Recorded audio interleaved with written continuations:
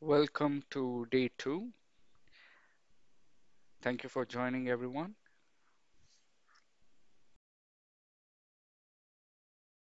Today, um, we will be talking on the lens aspects and other topics. Uh, yesterday, we talked about the uh, camera components. What makes a camera? There are many components that make a camera.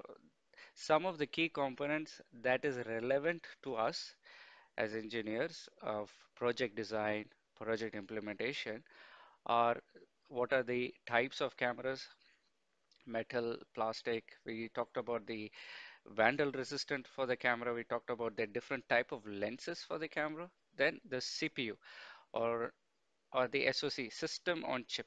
It's not just CPU with other components that makes the system on chip. System on chip is responsible for three major uh, expectations from the camera. One of them is image processing. You may recollect that we saw WDR yesterday, we saw IR, low light, thermal camera, PIRIS, DCIRIS. We saw all of these uh, image related techniques yesterday. Who's doing that? The chipset is actually processing all this information. If there is too much sunlight, that WDR has to kick in. If there is very little light, low light features have to kick in. Similarly, PIRIS and other uh, image aspects or image settings will kick in in real time to make sure usable image is produced, right? As soon as the camera is looking at a specific area, uh, maybe dark, maybe bright, it has to produce useful image, something that you can make sense of in real time. So that is the job of the camera and the chipset. Next is how good it can compress the image. We will see all of this uh, in the coming days and slides. Then analytics, we will also be looking at it. Okay. Now in the camera, we talked about IK10 rating. What is IK10? Vandal resistance or impact resistant. Someone trying to damage the camera with the physical force, physical impact, and the camera can withstand it. That is called vandal resistant. There is also uh, environmental uh, protection of a camera. We, you, most of you already know this part, IP66 rating, IP67 rating, IP65 rating. You might have come across this. Um, ingress protection, IP rating. Uh, let's just open a small reference and we'll just quickly go through it so we don't uh, miss this point. Go. Just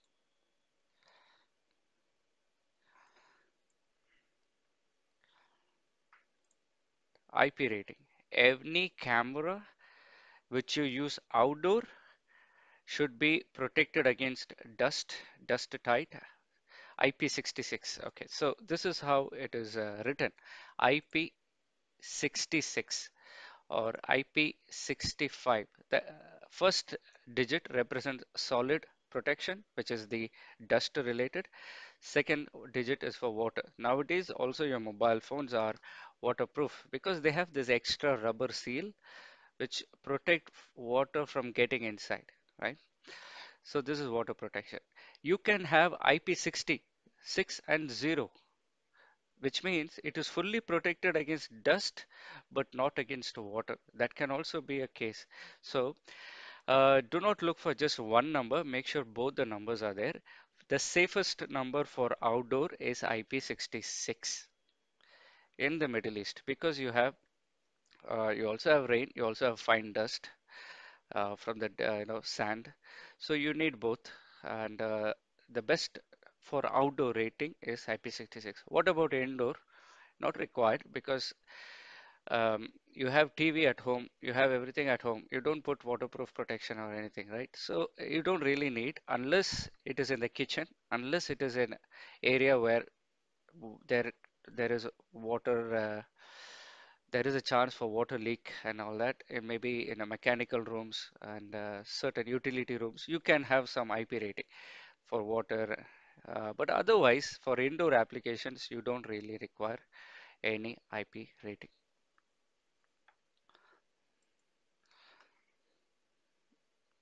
Okay, and uh, let's go forward.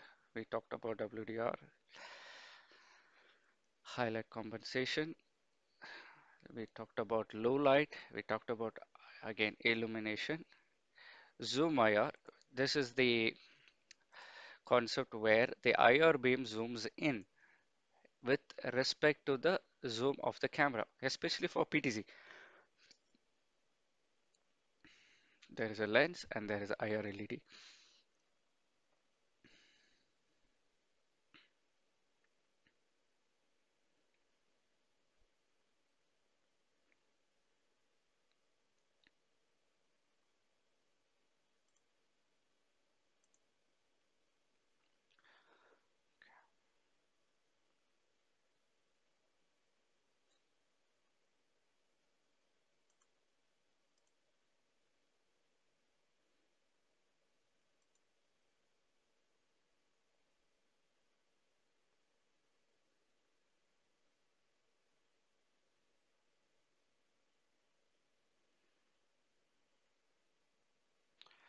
Okay, then IR corrected lens. Uh, this is not very critical uh, for today's course, but for your information, uh, there are two types of light important in CCTV. One is the visible light and then the IR light. If you're into perimeter monitoring, if you're into uh, you know outdoor monitoring in your projects, you have to know that visible light has a specific focal length. I mean, it focuses at a specific point. IR beam, this red light on the top, IR beam will have a different focal point. All right, so that means you have to uh, refocus the camera. Oops, sorry.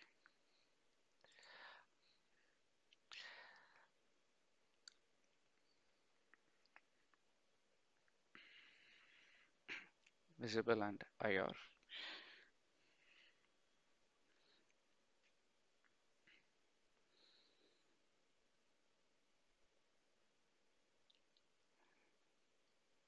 Okay. Now the same camera at night time, it's blurred out because the focus of IR beam is on a different point. So it has to be readjusted. However, if you use IR corrected lenses, even in night time, it makes sure that IR beam is also focused at the same point. Okay, very few uh, cameras or series vendors will have these uh, small things implemented into their you know lenses, especially for you know uh, critical cameras, PTZ cameras, and other outdoor cameras. So just make sure if you have uh, a requirement where nighttime monitoring is critical. Okay, again I emphasize this because whenever you do test or a, user acceptance test or a proof of concept or when someone comes and displays their product in your showroom, in your office, in your property, you verify it in the morning time. Morning time, everything can look beautiful. And uh, by evening time, we all go home. But uh, if evening time monitoring is also critical, you should do a POC even at the night time and make sure you're getting crisp images even at night time. Okay, and uh, that's something you can keep note of. All right. Every camera, there is a focal length. We talked about it yesterday. Uh, lens ranging from 2.8 to 12. This is the most common lens, 2.8 to 12. Why is it most common?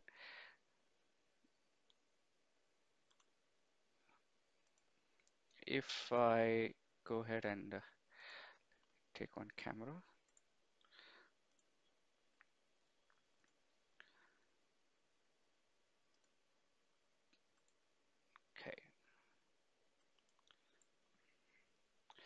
So let's say this camera has got around uh, up to 10 mm. If I uh, want to zoom in, it's looking at the door, right? So let's say I'm going to zoom in. First zoom out, make sure I'm all the way at the back. Okay, so the camera can see almost the entire room. If I zoom in,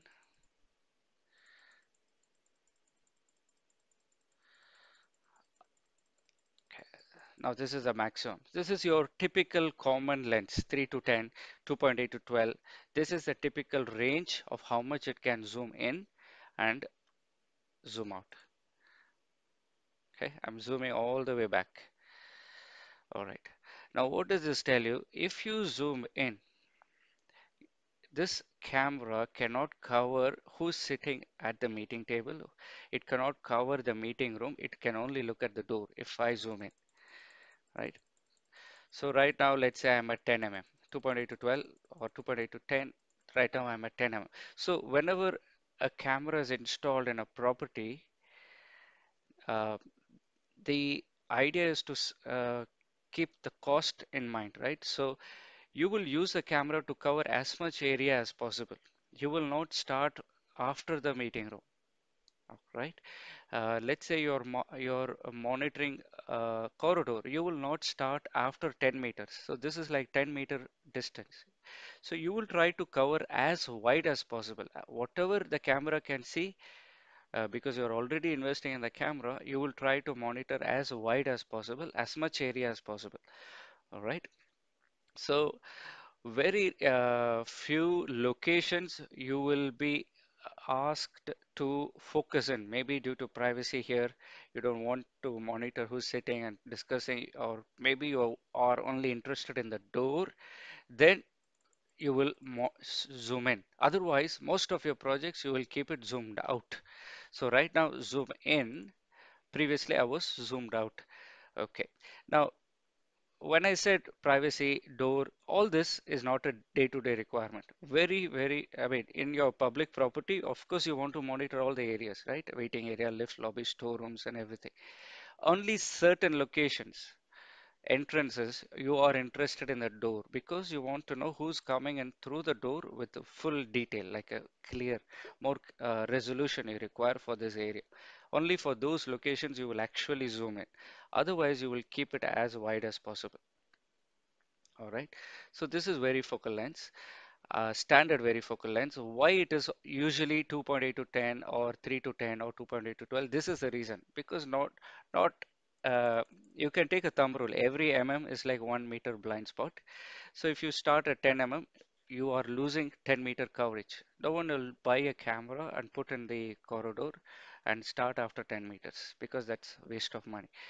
All right, so very uh, uh, most I would say 95% of your typical project locations you will you, will keep the camera at a wide angle at 2.8 or 3. You will leave it at that location itself. All right. Okay. Of course, you need projects where you need longer lens. Maybe the distance from the camera to the door is very far.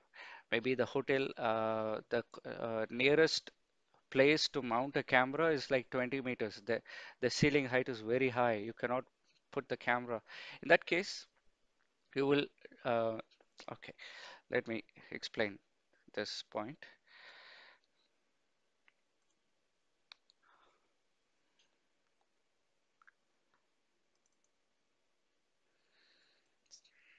Okay, if you put the camera exactly on the top, let's say in your project you have a ceiling height of 7 meters or 10 meters. If you put your camera on the top, you will only see the head of the person. You cannot get the face detail clearly. That's why we try to keep it, uh, we try to keep the camera as uh, as low as possible to get the face details clearly. So if I am walking through the door, you can see my face clearly. If I keep it on the top, you will only see my head. Okay, then and uh, yeah, all right. Focal length. So what is the takeaway? The more you zoom in, the more the coverage becomes narrow. So if my camera is here and if I zoom out, I'm looking at a wide angle. But if I zoom in, my oh, my drawing is poor. Okay, if I zoom in, the angle is narrow. Here, let me open the PowerPoint.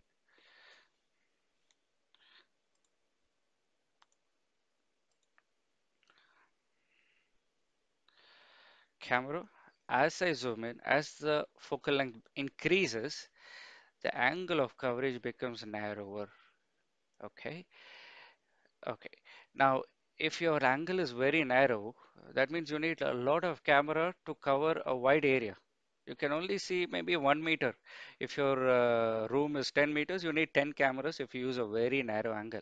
So, however, if you use a wide angle, you need only one camera. Okay. Now, there is uh, there is some conditions which we will see, like identification, detection, and so on, and that will determine what lens is required for a project. Okay. Now, uh, PTZ cameras. PTZ cameras are using zoom lens and they have very large focal lengths. 4.75 to 261, 6 to 222. Yesterday we saw, right, a PTZ camera zooming in all the way to the end of the uh, highway near the port. So I zoomed in and I showed you the PTZ camera. How does it work? Um, why is it called 55x zoom? Okay, so if uh, a PTZ camera is called a 55x zoom, that means from 4.75 from this mm focal length, you can go 55 times. So 4.75 into 55 times is 261. 261. So this is why it's called 55x, right? So 55 times it can zoom. It's optical zoom. Uh, It's not digital, it's optical zoom because the lens is zooming in.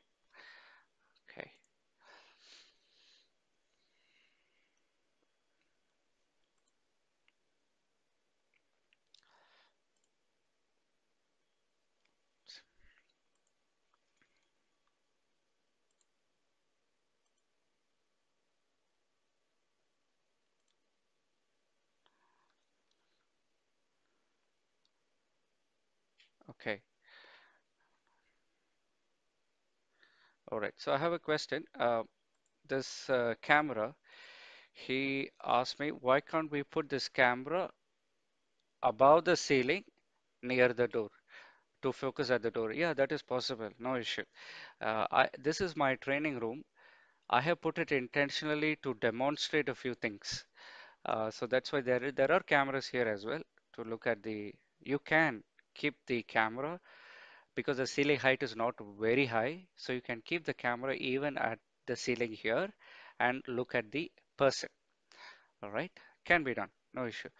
However, there are locations where the ceiling height is very uh, very uh, if it is very high, then you let's say six meters 10 meter ceiling, double ceiling, triple ceiling height, especially at hotel main entrance lobbies. Let's say you go to uh, Atlantis, you go to uh, Jewel of the Creek. Certain projects, when you enter, there is no ceiling. You have to walk at least 10 meters, 20 meters to go to the reception desk. And then you will have uh, just poles around, column poles. So you will see cameras mounted there and with a very big lens zoomed in to the uh, door. Okay, so the purpose is to get the face details clearly. All right, now uh, back to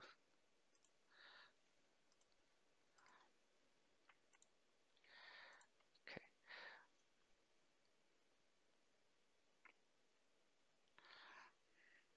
Okay, uh, can I explain 50x one more time?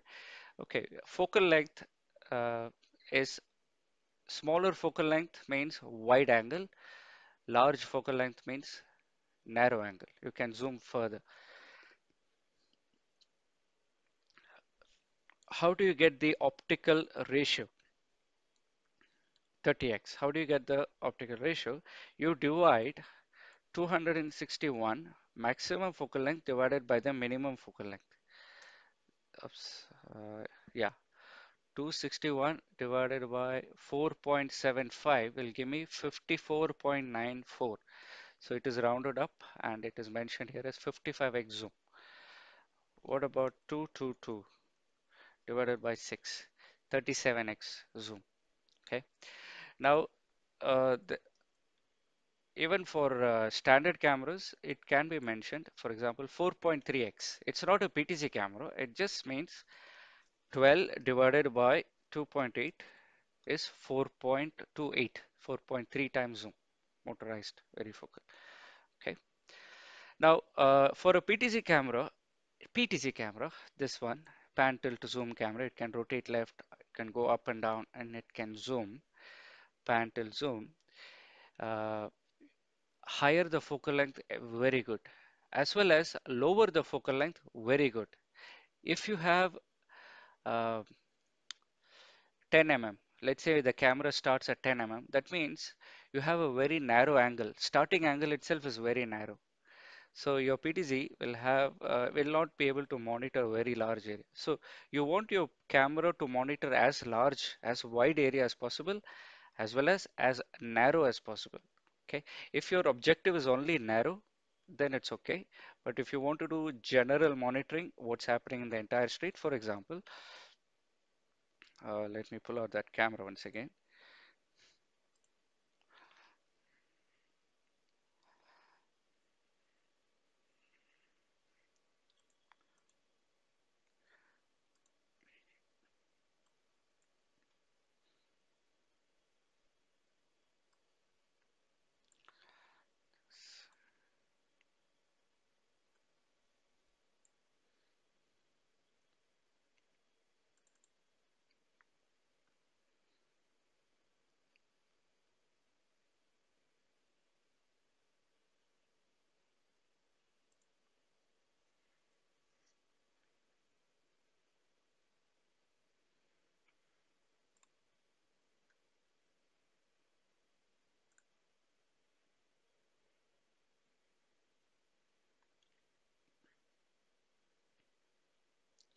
So if my PTZ camera had a very narrow angle, I will not be able to get this wide view.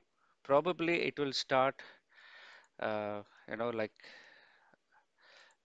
let's say it will have a, little bit narrower. If it is, it might have a narrow view like this. So you cannot get a very big angle. So you should have both for a PTZ camera. Uh, next is what is a digital zoom? After you zoom in all the way, then you can do digital zoom. Just like you take a photo in your mobile phone and then you explode the image, that is called digital zoom. So uh, it's called blowing up your image. So uh, just a second.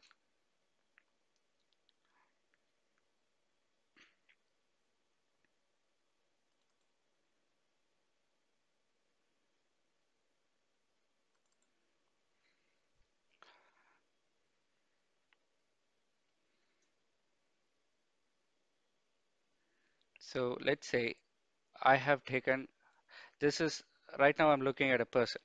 Now if I zoom in, this is called digital zoom. I'm blowing up the image and the image gets, uh, you can say slightly pixelated. So this is digital zoom.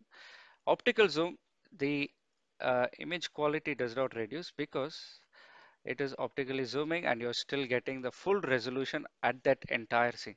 So even after I zoom in, for example,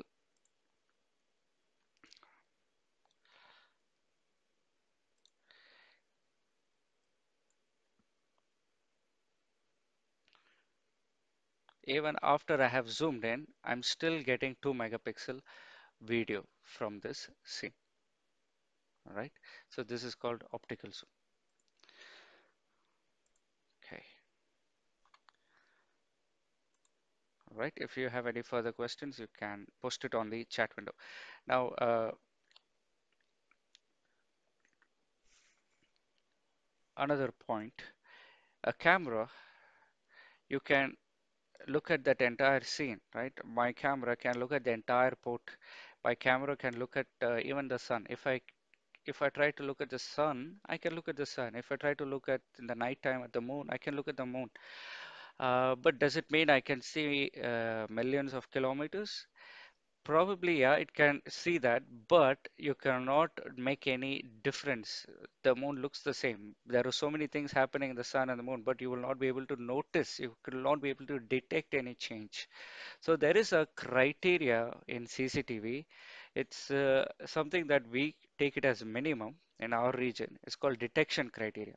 what is the minimum amount of uh, resolution quality required uh, to achieve or to make uh, sorry to achieve detection basically to detect any change in the scene if there is someone moving in the scene if there is a car in the scene if there is some activity in the scene in order to detect with your human eye you need to have a certain level of pixels uh, available in the scene. So that is called detection. If your camera cannot do detection, then there is no point in camera. It's just a, uh decorative piece, right? Because for security, it is not achieving any function.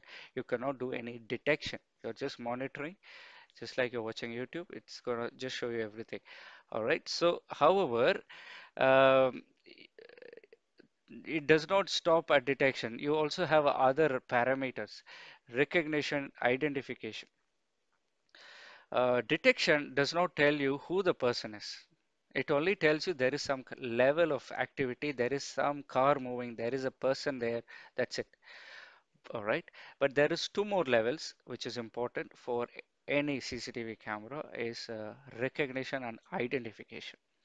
Now this, uh, let's say, how do you explain this? Is a simple way. Just let me pull out the, second. Okay.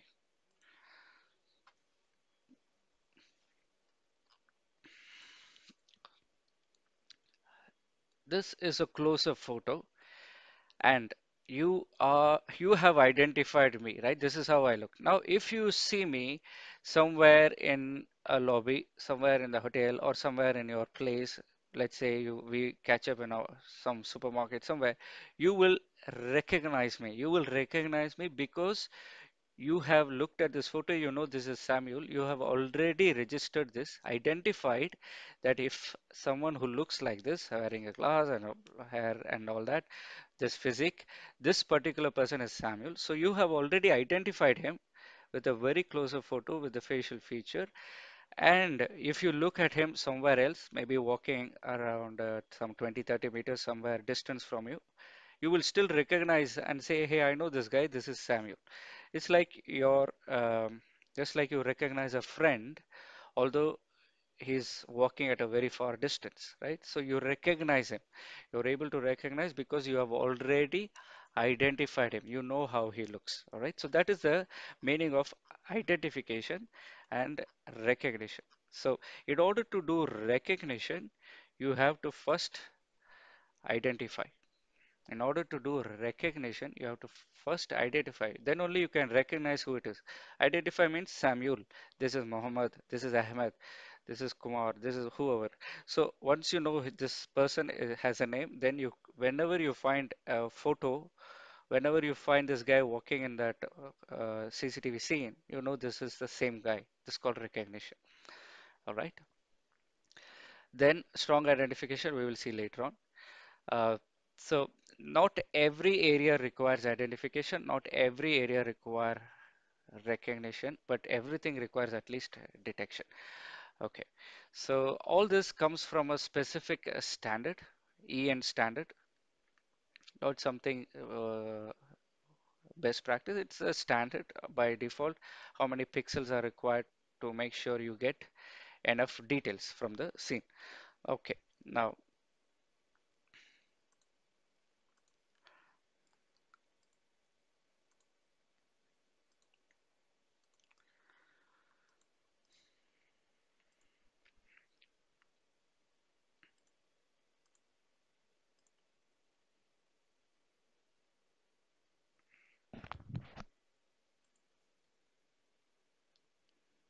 okay, pixel per meter, ppm. How do you make sure your camera has achieved a detection? Your camera should get at least 20 pixels per meter. How do you make sure the camera has reached recognition 125 pixel? Similarly, identification is 250. Now, uh,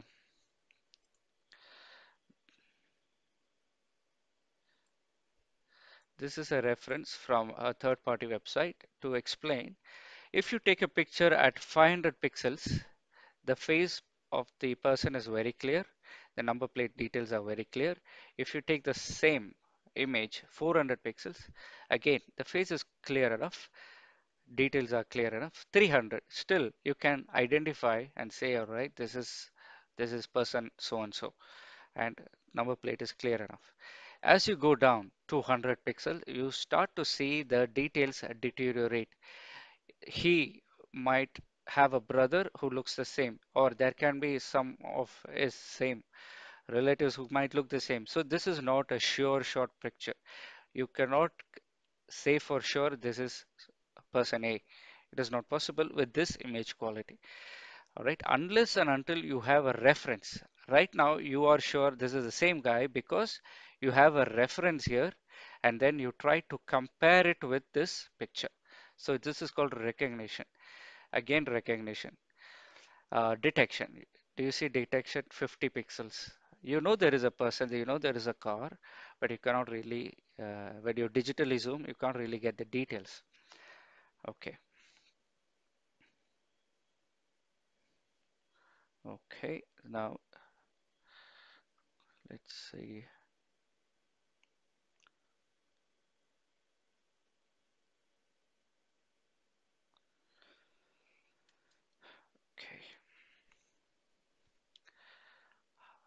Okay. Now, uh, you can, okay, now there is uh, a common mistake amongst uh, typically, you know, maybe consultants or uh, even integrators, designers. There is a common mistake is, all right, so why don't I just specify 300 pixels for my entire project? Uh, if you do that, then you will end up giving at least 30, 20 cameras for covering the entire parking lot. Okay, 10 to 20 cameras you will need to cover the entire parking lot because your expectation is 300 pixel per meter. So you cannot say I need identification in my enti entire project.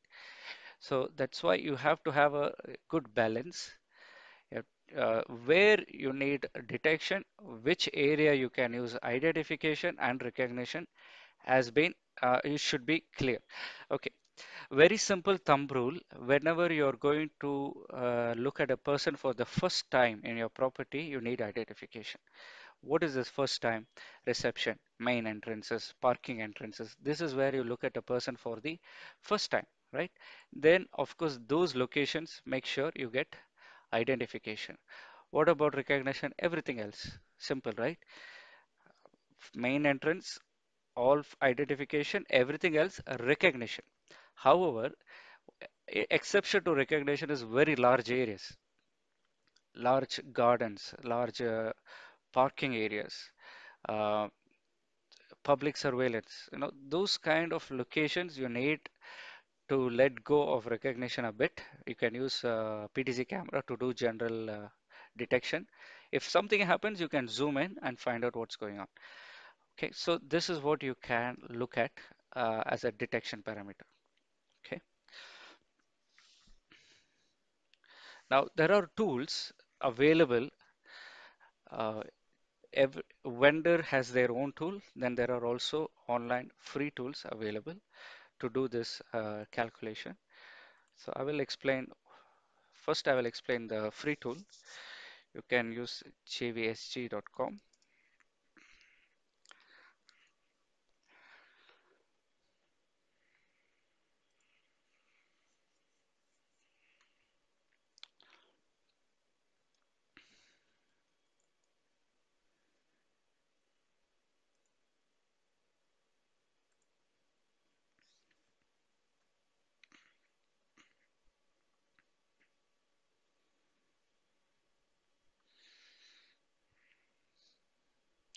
So on this website, there is a free version called uh, Lens Calculator. You can take this.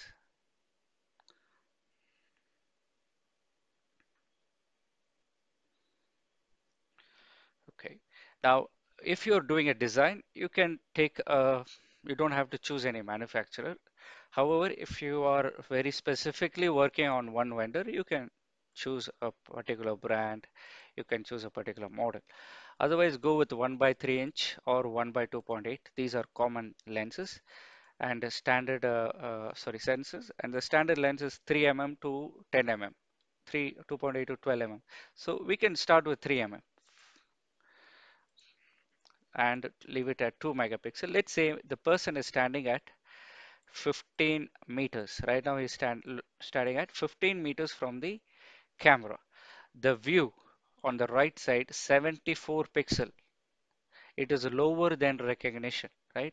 What do you require for recognition? 125 pixels at least. So right now it's not very clear. So in this case, if you zoom in, if I zoom in, the image starts to become clearer and clearer. 125 right? So this is uh, recognition. If you go closer the red zone that's when you reach identification.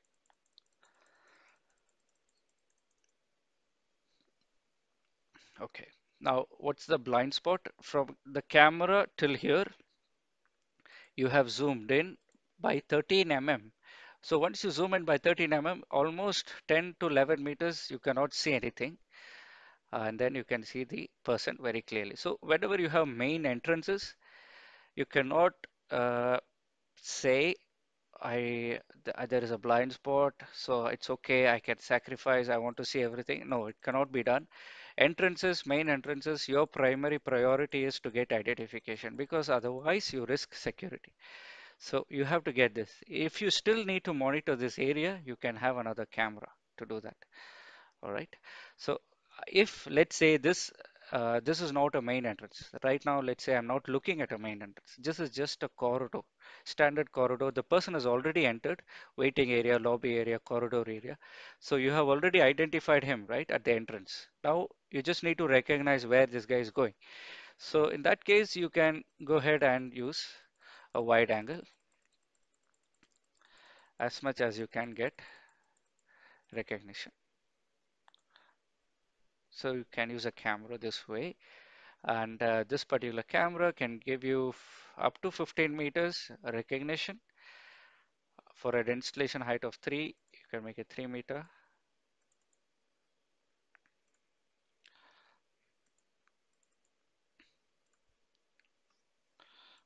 And focal length is 5 so that's why you generally take 3 to 10 mm 2.8 to 12 mm most of your projects will be within this range except the main entrances where you may need extra lens right? So uh, this is uh, this is one. Uh, how do you convert this into your field of view drawing? Let's say you have an AutoCAD. When you have an AutoCAD first to draw a camera picture like icon. Uh, draw a straight line of uh, here here it's 15 meters right? Let's uh, look at the top view. Top view 15 meters.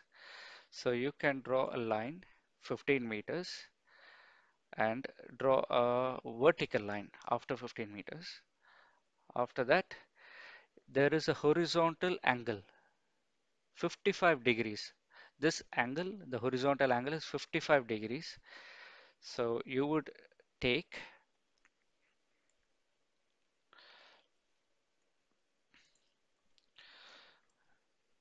Fifty-five by two, that is twenty, sorry, twenty-six, twenty-seven. So you will take twenty-seven point five degree, and here you will take twenty-seven point five degree, and draw the line angle, and then cut it at the fifteen meter. So this is your cone. This is your viewing cone. So any camera with a sensor size and a 3 to 10 mm, you can get a maximum distance of 15, roughly 15 meters recognition. So you just say I need a camera 3 to 10 mm, sensor size so and so, resolution so and so, every 15 meters. That's your recognition. Okay. So if you do this for one project, you will find out that it's all it's the same for every other project because uh, the coverage actually depends on these parameters, focal length, resolution, and uh, sensor, not really dependent on vendor models. Uh, very slight impact, but it's not really dependent on that. That's why you can use a non uh, we don't have to choose any vendor. You can still do the coverage because it's just formulas which tell you how much you can cover, mathematical formula. Okay.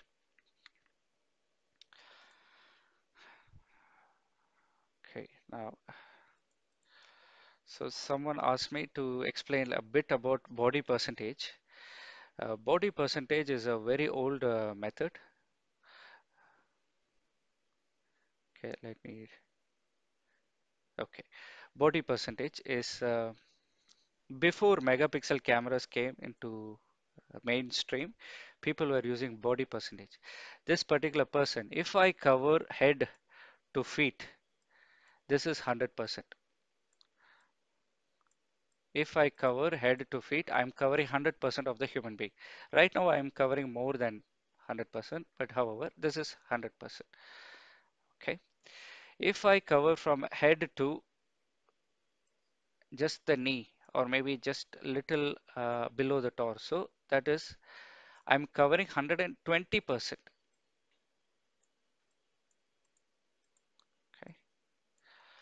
I'm not covering the full person. I am zooming in and I'm covering uh, from head to, to uh, just below the torso, that is 120%. So if I get, look at a person, uh, I zoom in, then cover more than the person, uh, full person, that's 120.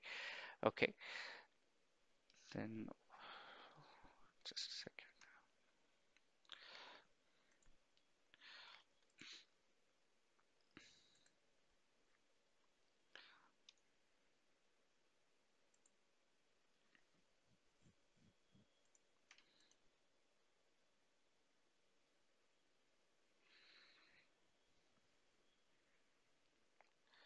Detection. Okay, detection 50%.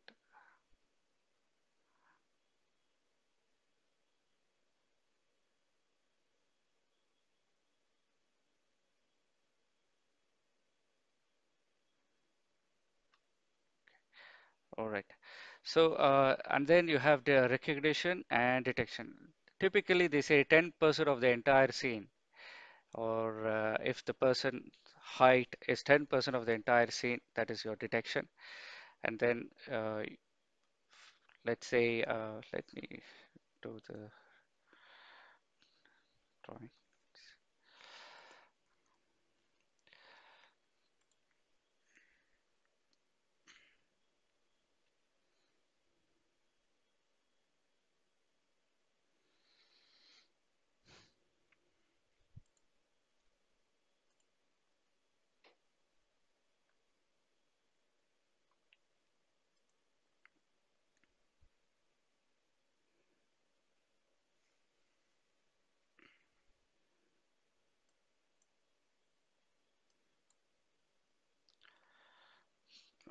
Okay, uh, let think it's some delay here.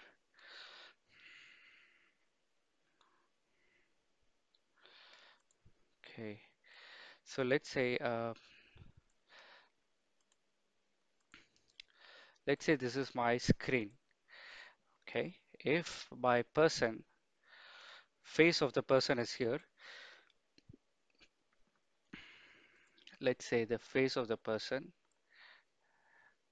body, and and from his feet you're seeing little bit. Okay, not the entire feet. Maybe the remaining feet is here. So this is 120%. You're seeing full from the screen, from head to feet, you're covering him. This is 120%. However, if you in the screen, if this person you're covering head to feet from top to bottom 100%. Uh, if you see in the screen, let's say this yellow box is also screen, if only 50%, all right, so this is your 50%. 10% will be very small.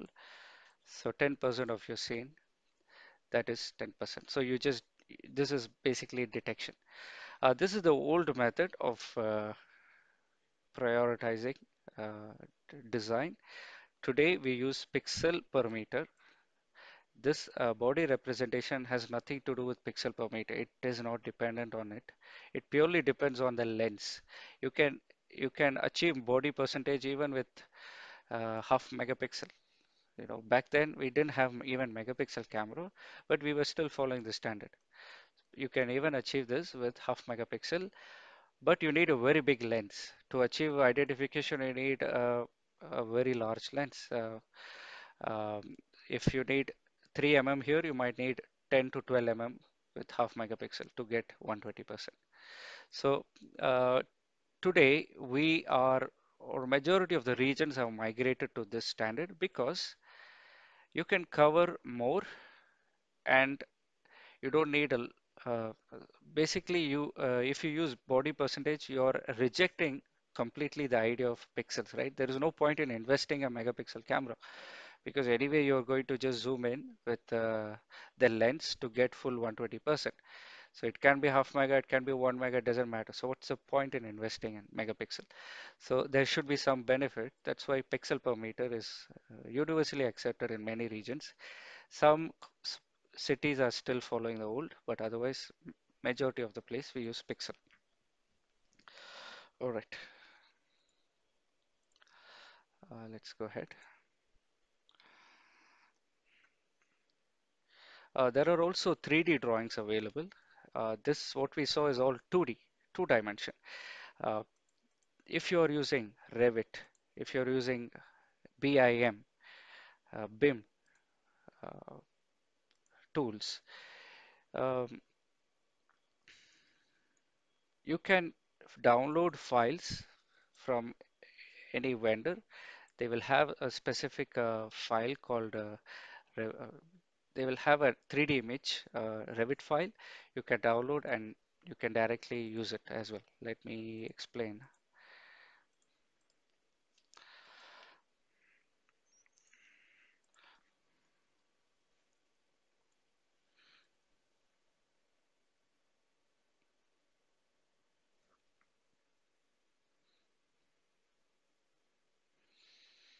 So here we go, BIM Revit. You can use this file and directly you'll get a 3D uh, coverage uh, in your Revit uh, application. So you can directly drop and use this to do coverage drawings.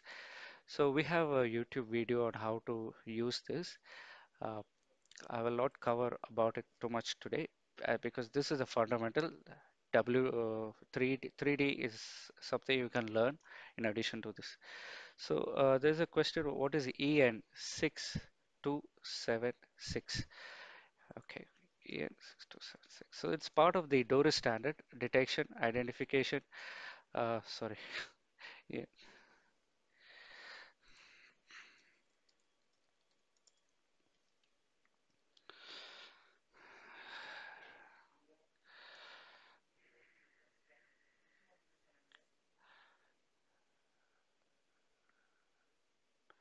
Okay, let me pull that out. Uh,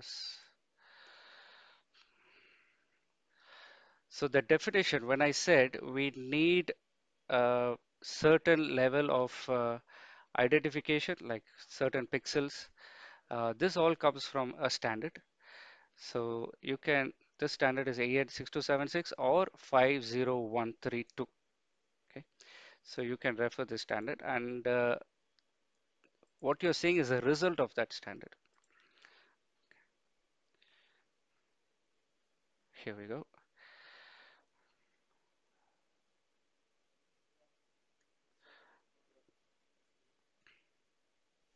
Okay.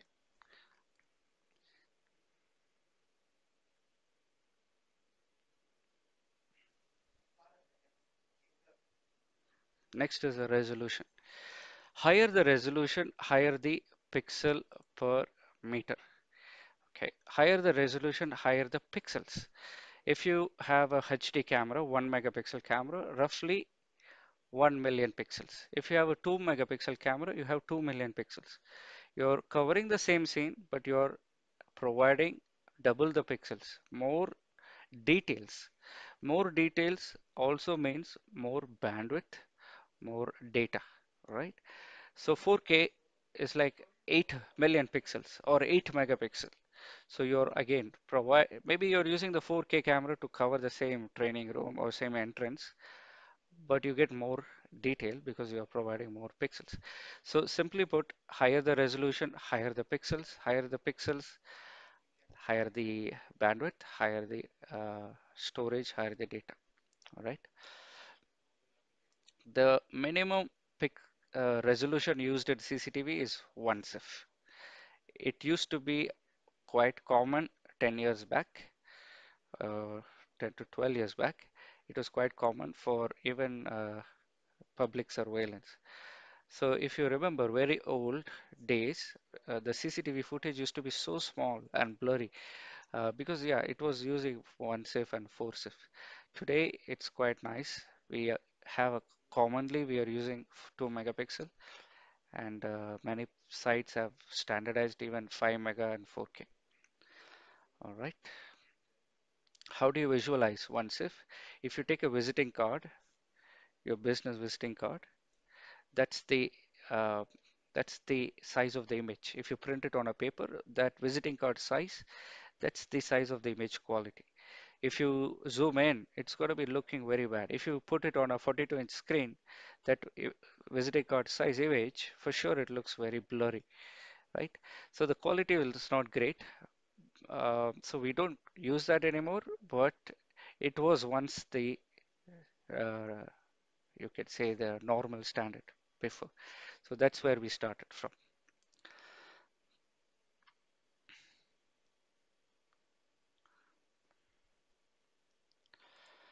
So uh, I have a question. If we use 4K, can we identify a person? Uh, yeah, you can. Yes.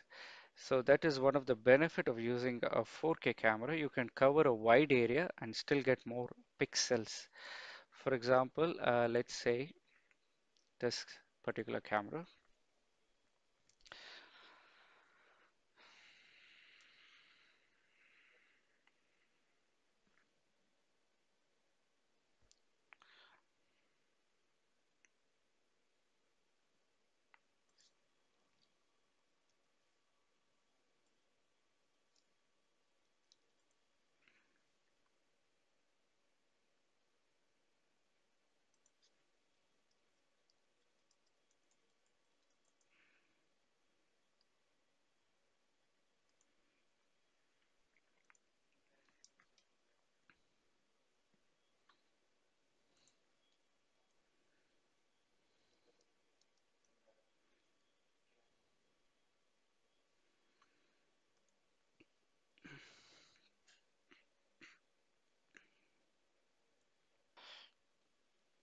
Pixel per meter.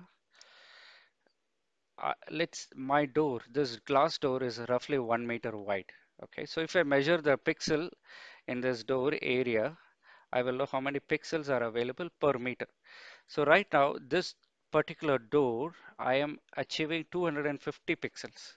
So if anyone walks in through the door, I can guarantee I will get identification, all right? Because the minimum for identification is 250 pixels. Now, if, uh, for example, I'm zoomed out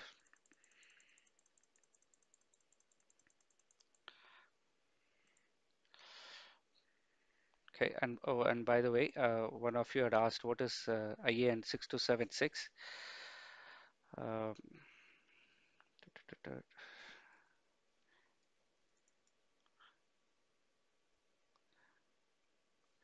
yeah, so it's the uh, the pixel per meter is uh, specified by the standard European standard EN 6276, and there is an older version EN 50132. Okay, so both refer to the same topic. All right, back to this image. Now I have zoomed out. I have zoomed out. Okay, now let's measure the pixel per meter. If a person is walking through the door, I am only achieving 110 pixels. So there is no guarantee you can identify if a person is walking through the door. That's why you need uh, a different zoom lens or to zoom in and get identification. What if you cannot zoom? In that case, make sure you buy a, a 4K camera. Let me check if I have a 4K around for this location.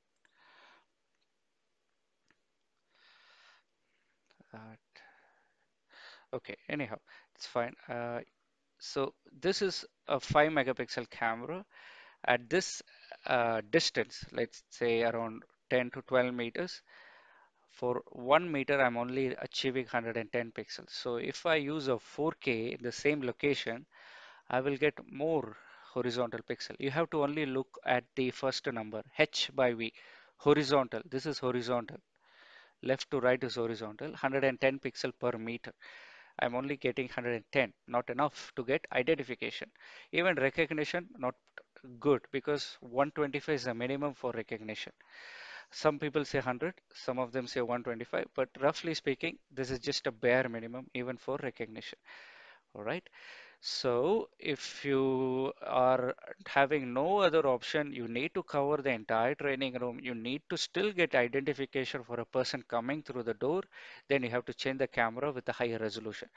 But if you are not really concerned about covering the entire training room and uh, you have option to zoom in, sacrifice the viewing area a bit, then you can get identification by double, we can double check. Okay, I need to zoom in further.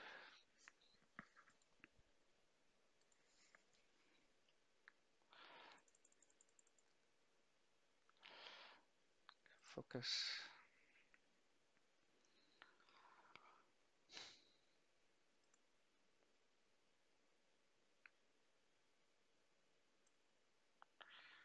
Two hundred and forty-three. All right, close to 250. So now I can get identification. I can zoom a little bit more as well. Now, this is called bare minimum identification. Previously, you saw strong identification. Uh, the reason for strong identification is uh, low light areas. You cannot guarantee the amount of same amount of light. You cannot say in a hotel you will have this light. You cannot say at night time parking areas will have these lights. Maybe there will be just one light, or maybe the ambient lighting will be 10 times lower, hardly 10 lux, 20 lux. Right now in my office, it's around 300 lux to 500 lux. Right below the uh, this lighting, I can get around 400 to 500 lux. Um, just to visualize, you know, in the night time, if you go in the streets, you can uh, you can download this in your mobile phone. Lux meter, we will play. Lux meter, you can just download this app to give you an idea, so you can measure the amount of light it's available on your mobile phone. On your Android, you can download this. You just show it below the lighting. It will measure the amount of light coming in that area. As you go far from the light, the light will reduce. You keep it under the table, the light will reduce. Uh, the lux level will reduce. So you in hotel entrances, the chances are uh, lighting is very dim. Okay. So how do you still guarantee identification? Because identification is a must. We cannot sacrifice what you don't know from which country the guest is coming, and you need to get a clear detail who's in your property.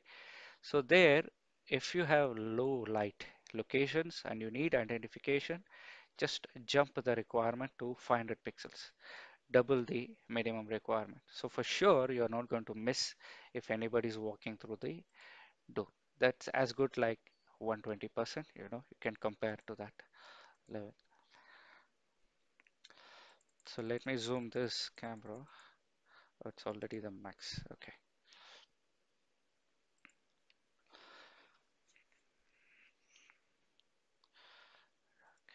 One, two, seven, six, zero.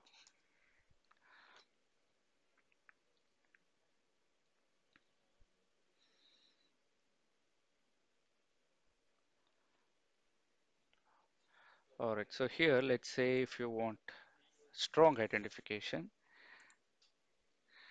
so you are able to see the person very clearly, right? So why is that? If you measure, it's almost 200, and also the lighting is good. Now, if I want Okay, oops.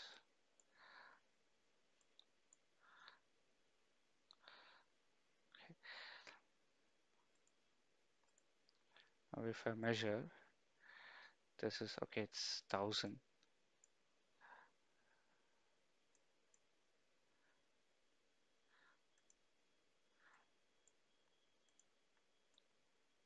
So this is still 800. So if someone is walking through the door, for sure I can get his face very clearly. So this is 800 pixel per meter. So uh, this particular camera is a bigger lens camera. That's why I said certain entrances you need long lens. So there are cameras with large lens like this. All right, now let's uh, take a break and then we'll come back for the next topic.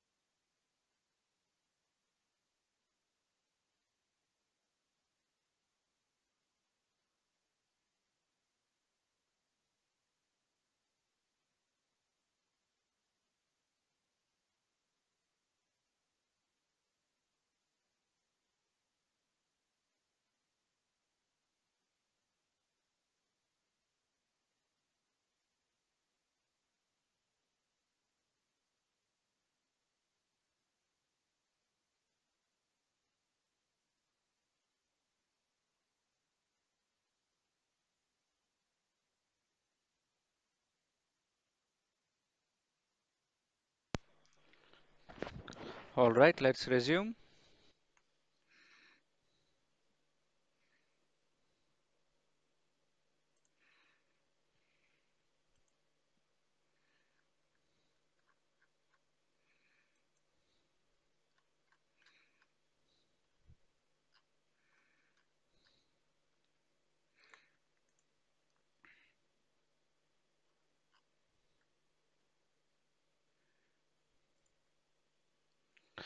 Next is uh, compression. Here we are focusing on IP camera, right? When you are working with IP cameras or any generally cameras, CCTV, and especially high resolution, um, storage is a big concern. The more resolution you move towards, the more the quality of the image that is needed, higher the storage required. But some of you might have realized previously, let's say, again, I compare with roughly a 10 year period. 10 years back, we were covering the same area, we were requiring the same storage. Even today, after migrating to 2 megapixel, you still require similar storage. 2 terabyte was used for half megapixel 10 years back for one camera. Today also you require roughly 2 terabyte for one day recording for 2 megapixel camera. How is that possible? It's purely because of codec. All right. So what is this codec? Codec means coding and decoding. IP camera, the coding happens at the bottom. The coding happens in the camera and it is done dumped onto the storage. In analog camera, the DVR, the recorder does the coding. All right. Coding is uh, image stream packaged digitally and sent over the network, right? And once you view it uh, on the screen, that is a decoding. Okay. Now, what are the different codecs available? Since 1992, codec uh, started out with JPEG. JPEG was an image. Then we had motion JPEG. Then we had MPEG 4. Then H.264, which is already 15 years old. Then we had H.265. These are the different codecs. What is the benefit of codec? Why do you need a codec? In CCTV, without codec, it is almost impossible to do any project. You cannot supply even one camera for a project. Uh, so codec is as important as that. If you take, uh, this is like a thumb rule calculation. If you take a five minute video of 2 MP, you require around 55 GB storage without codec, without any kind of uh, compression or uh, if you want to record a video for 5 minutes, you require 55 GB. It's like this, uh, how to visualize, how to understand. Imagine watching a video online, let's say YouTube video for 5 minutes and your data package is done, it's complete, finished or used up. Okay, so that's the impact of codec. So YouTube has their own uh, special algorithm, codec algorithm. However, uh,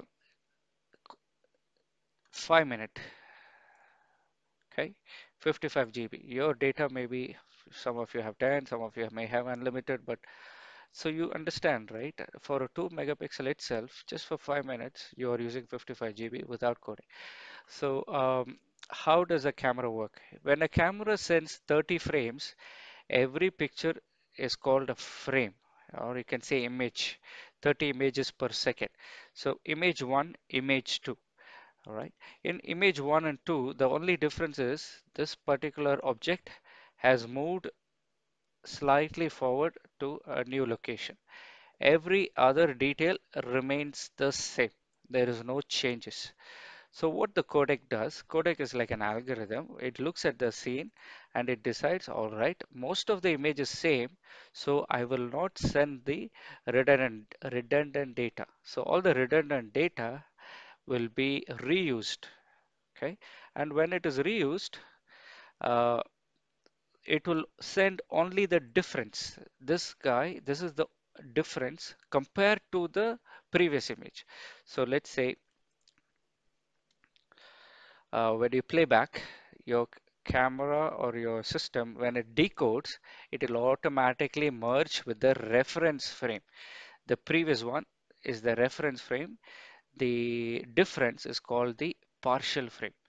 There are other words for the reference frame called iframe, full frame. Uh, cannot hear me?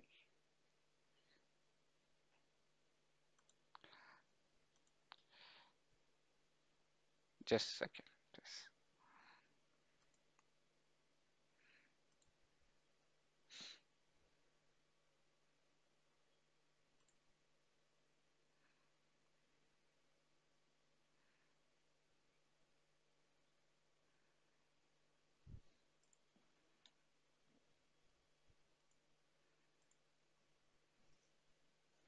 Okay. I hope I'm audible.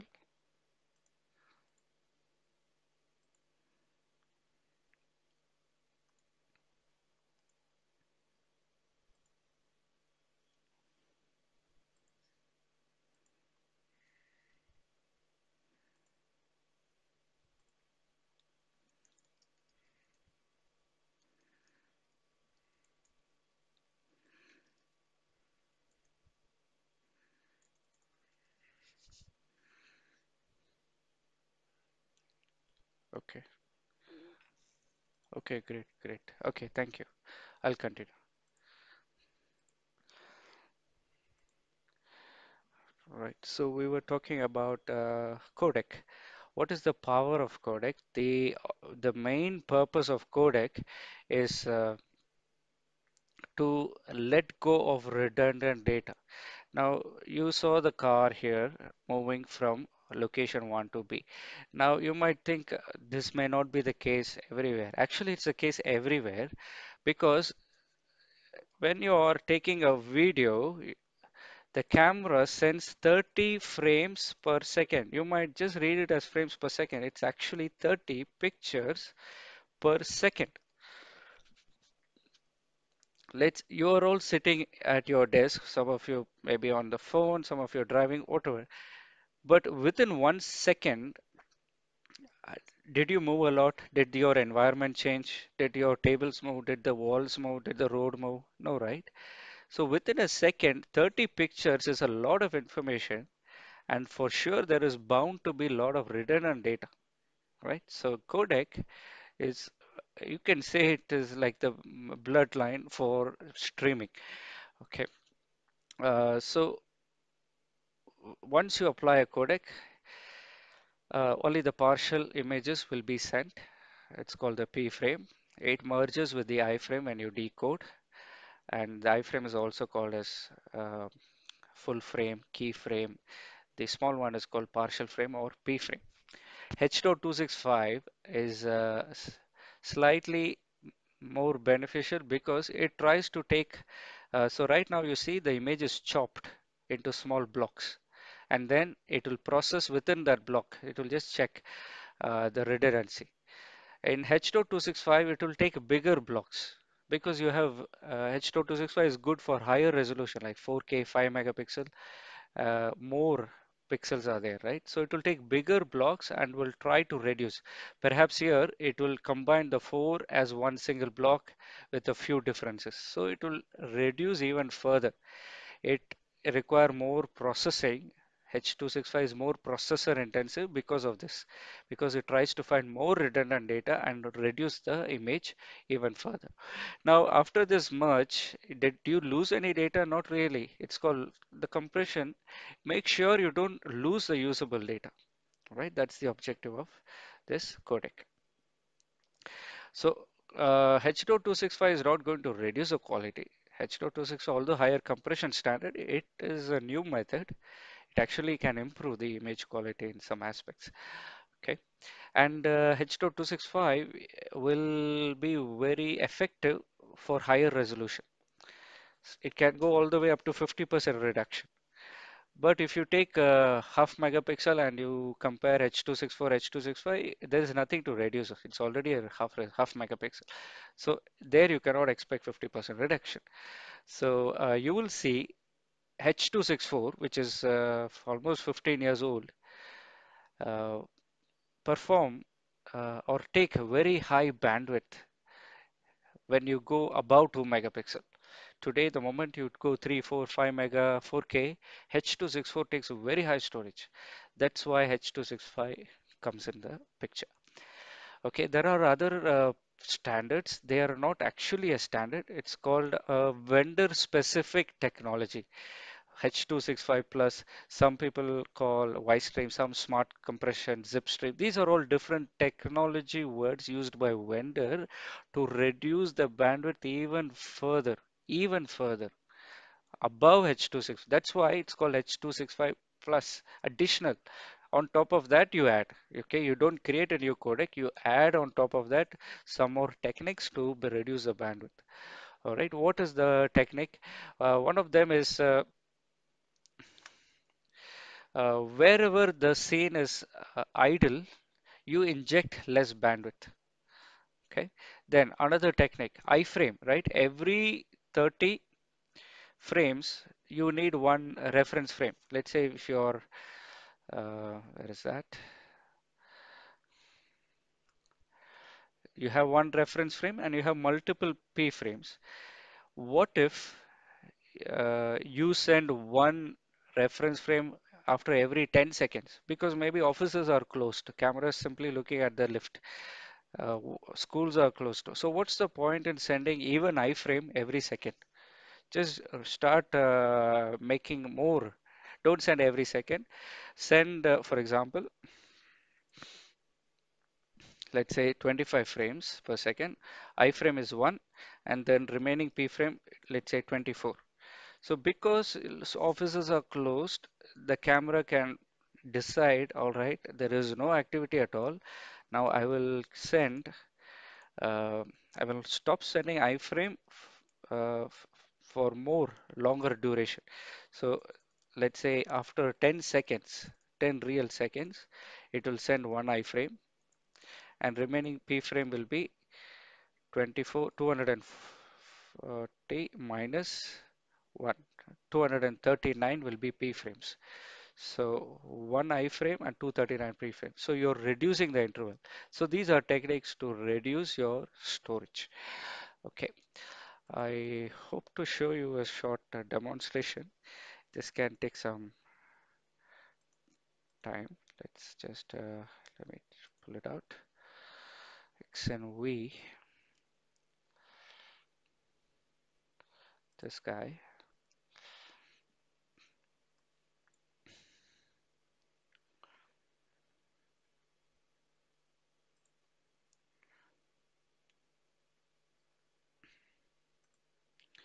Let me make it all high resolution.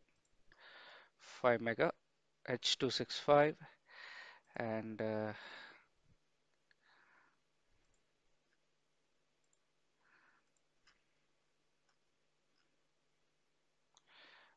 WiseStream. So this additional compression, we call it WiseStream, and uh, every vendor have additional uh, proprietary techniques to make it really efficient. Know, uh, because let's say, uh, okay, I, when I demonstrate, I'll explain it to you. So let's go back to video profiles, H.264. Okay,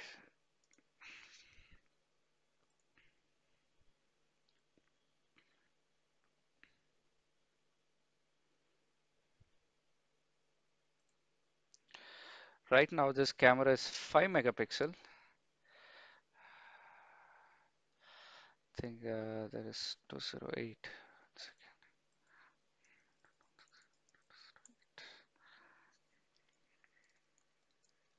Just a second, please.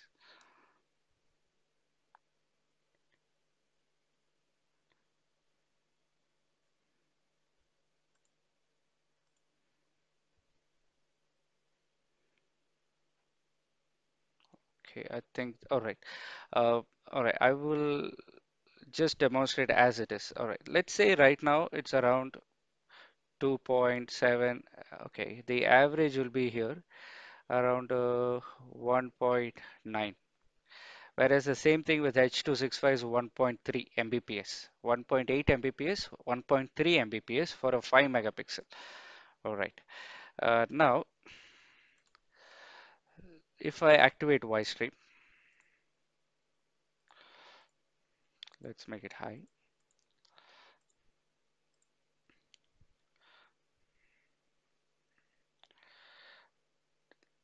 After 10 seconds, we will get the new average. What WiseStream does, or why what this extra compression techniques, H265 plus and uh, WiseStream, ZipStream, Smart Compression, what they do is they observe the scene. If there is no activity, they will reduce the size of the uh, iframe even further. They will not inject bandwidth if as I mean if it is not required. However, if there is a moment, so right now it reduced uh, H265 became 1.2, uh, sorry, 0.9, H264 became 1.2.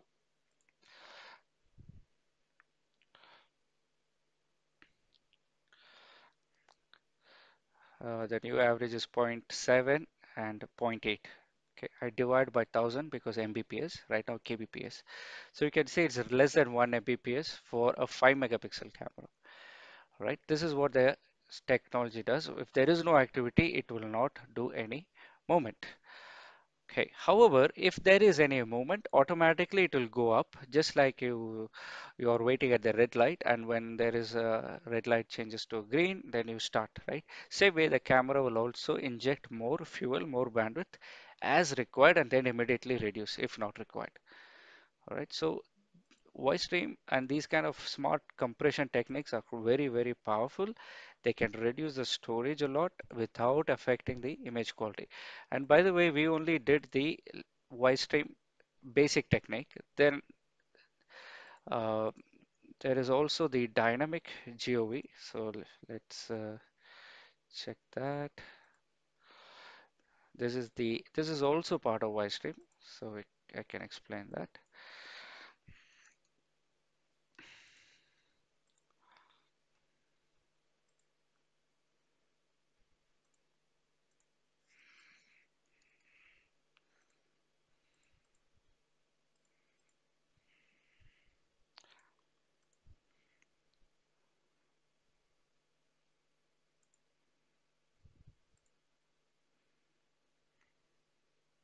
Okay, disconnect and connect. So this is even more aggressive method. Right now, the bandwidth became 40. That's like 0.004 Mbps, right? Yeah, 40 divided by 1000. So then 0.04. And uh, here you have, or in kbps, 284, 7, 10.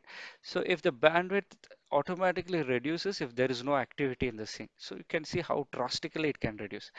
Okay, here you can tell the camera to even reduce frame rate if there is no activity.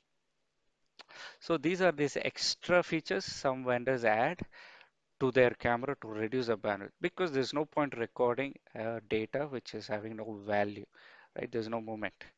If there is a moment, automatically the frame rate will go back to 2025. All right, let's move to the next topic.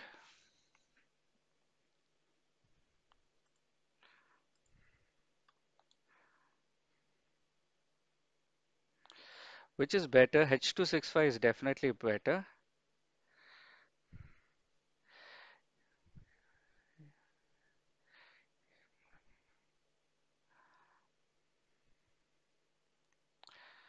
Right, right. Uh, there is a point where you are asking me to repeat it. Uh, which part? Is it the WiseStream part or is it the difference between H264 and H265? And uh, I think I will also do the repeat uh, exactly after we finish the session.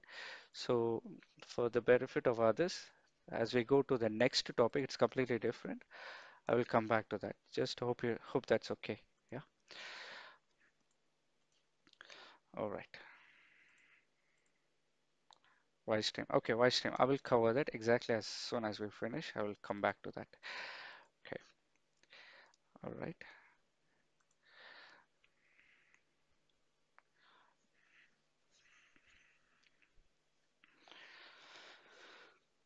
All right. Next uh, topic is uh, camera shapes. Uh, inside the camera, the processor may be almost similar. Some cameras may have more features, some will have less features. Uh, but the shape of the camera will alter, will change depending on the application. It's like wearing a dress for different occasion. Same way, you have to have a camera for an outdoor, different. You have to have a camera with a longer lens, a different shape, because you need bigger bow, bigger body to fix the lens. Then you have uh, pinhole cameras. These are inside the ATM machines, hidden cameras. Then stainless steel body camera, microdome camera, transportation mounted camera, uh, bullet cameras for outdoor, dome camera for indoor. First one is dome. The last one is also dome, but it is metallic, so it can be used outdoor.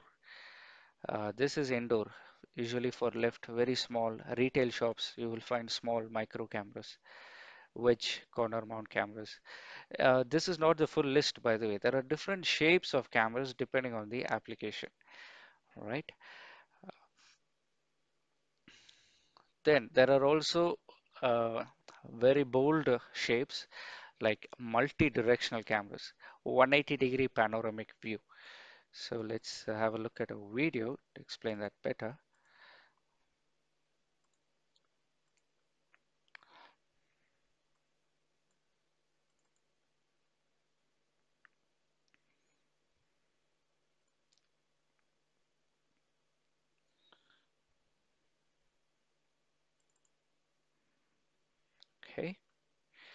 Panoramic.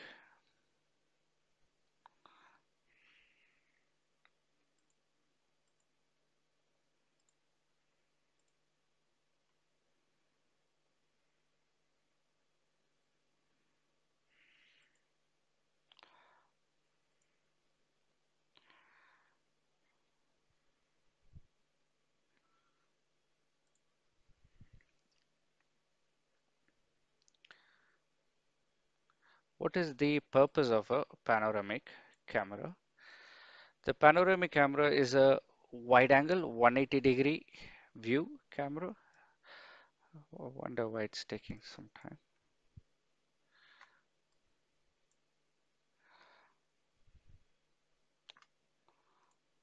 Okay.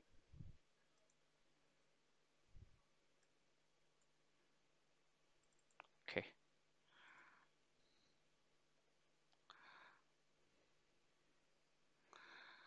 One, two, three, four lenses stitched together as one single camera. This is a panoramic camera. The goal is to get a one clear view all the way from one end to the other end of the scene without any break, without any gaps in between. This is from our previous office in the US. Then we have multi-directional camera. Okay, this is also multi-sensor. That means four cameras in one. Then there is something called multi-directional camera.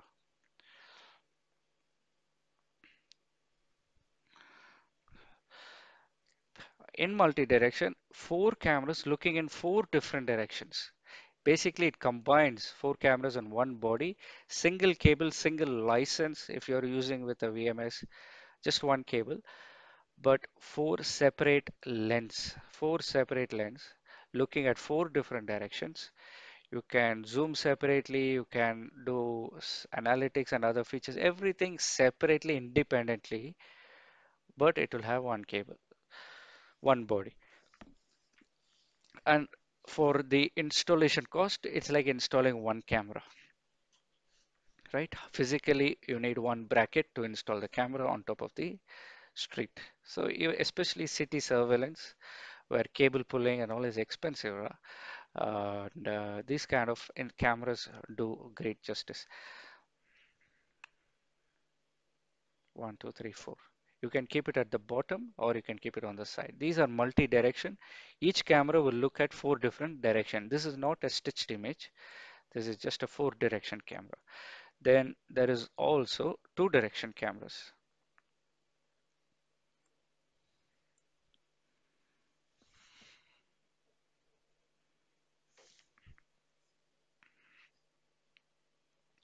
Camera which look at uh, especially longer corridors or perpendicular corridors. Uh, when you walk in and then you take perpendicular right. So you need a camera at the corner looking in two different directions. So you can customize the lens, you can choose the lens, resolution and so on. All right, this is a perpendicular location. So this is the objective of this camera. This is from uh, the roof of our office. So one looking at the seating area, the other looking at the walking area. Okay, next comes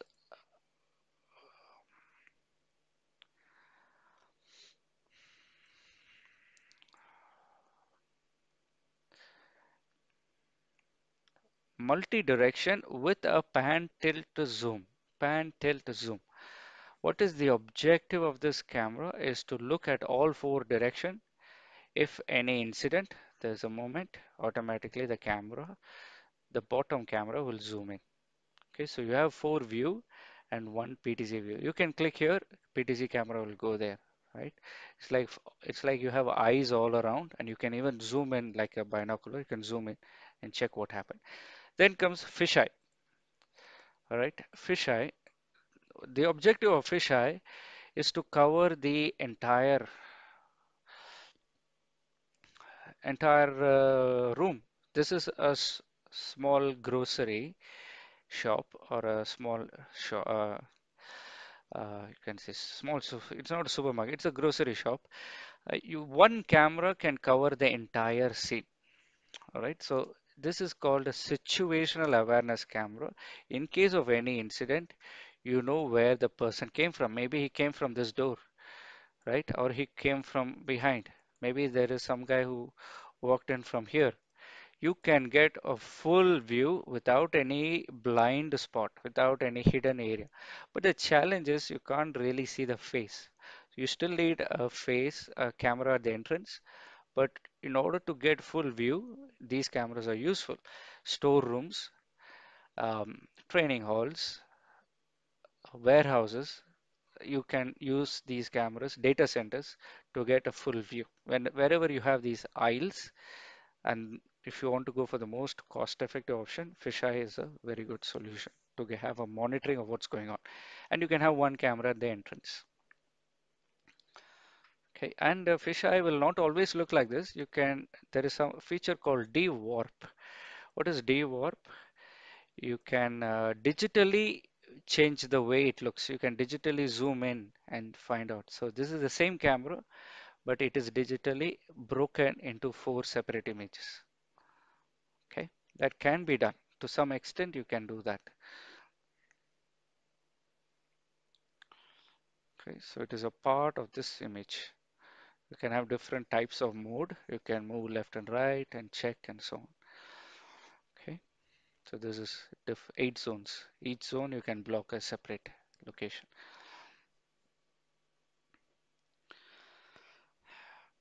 Okay, so we'll see that later on. Panoramic, multi-direction, multi-direction with a pan tilt zoom, and we saw about two direction. Next is vendor product categorization. Um, when you approach any vendor, uh, the common mistake today is there are different series for any vendor. They have high end, they have a mid, mid range, they have low end, they might have another intermediate range. But what's the common mistake today? People think if they get a high resolution, that means I have purchased the highest model from this particular brand. Actually, no, you might get uh, even in the low end category, a vendor might have a 4K camera, 4K resolution. Even in high end, he may have a 4K camera. So resolution is no longer a differentiating factor for vendors. Okay.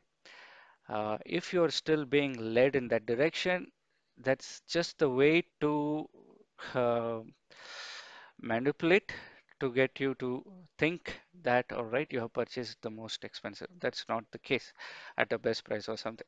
So uh, the features behind the camera is what makes the camera, uh, um, what what costs the camera. The features, what analytic, what analytics it can do. What can the camera do by itself? Can the camera think by itself? It can decide by itself if someone is walking in, can it create an alarm? If someone is going out, if they walk in, it's okay. If they go out at a certain time, can it decide? Can it differentiate between a person and a car? So these are the intelligence in the camera that makes the difference, and that's where the processor changes. Second thing is um, hardware. Hardware in the sense if you require uh, a longer lens, if you require a low light, or if you require higher IR range, these are not common, right? Higher than the standard is not a common. So those all models will fall under your uh, slightly special category. All right, they can have slightly different pricing. Uh, some Okay, previously WDR was also major difference. Now it's almost diminish, diminishing. Almost every camera is WDR. Uh, previously, some cameras were not WDR. So WDR, you know, it takes two pictures. It works twice as fast. So it had a different processor and all that. So they were more expensive, but now it's diminishing. Okay. And of course, you saw multi-direction. They are not a standard camera. They are like four camera in one body. They will be also on a different, it's a differentiating factor. Okay, so uh, I will take our product lineup as an example. We categorize into Q, X, P, and T series. What is our motto behind it? The standard requirement falls under Q. Standard lens, standard IR range, 30 meter IR range, standard shape, dome bullet shapes falls under Q series. Standard analytics, someone is crossing the line, someone is walking in a specific zone, intrusion, uh, basic counting analytics. So whatever is commonly required, motion, tampering will fall under Q. Okay, then above the standard, I need 50 mm lens. Uh, You remember one of the camera zoomed in all the way to the door. So special lens, long lens. I need 70 meter IR. I need stainless steel shape, or I need 15, 20 analytics in the camera. So those are slightly above the standard. They fall under our X series. Uh, artificial intelligence. Uh, you we have two levels of that. The X series, and then we also have in P series, customized artificial intelligence for city surveillance. Maybe some customer says, okay, I want to do uh, a vehicle stop to vehicle detection or some um, it can it could be uh, trash detection. So customized intelligence, customize the camera, uh, COVID solution, mask detection, extra features if they want, uh, multi-directional cameras. So they all fall under your P series. So this is how we are differentiating.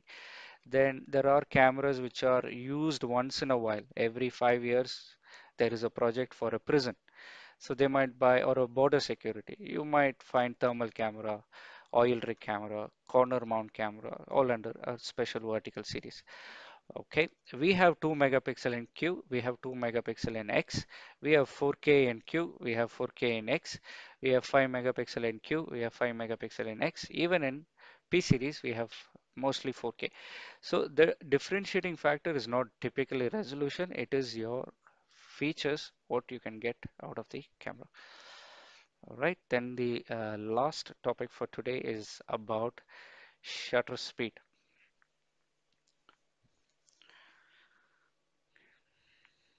Okay, let me just review if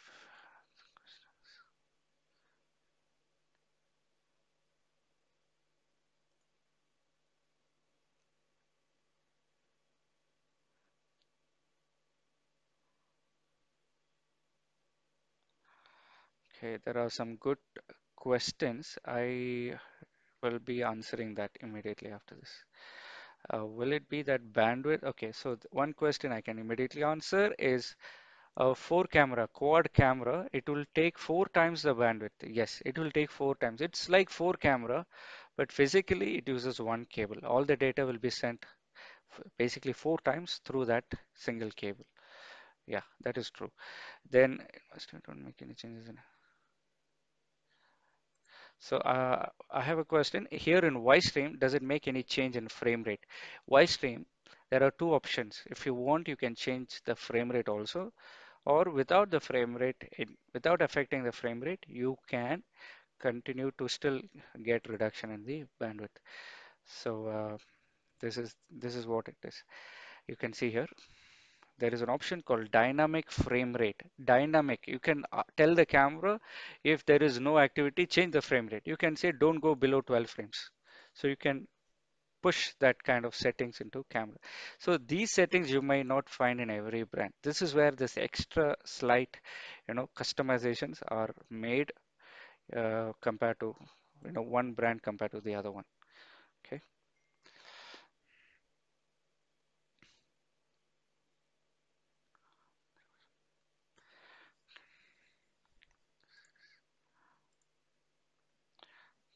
Okay.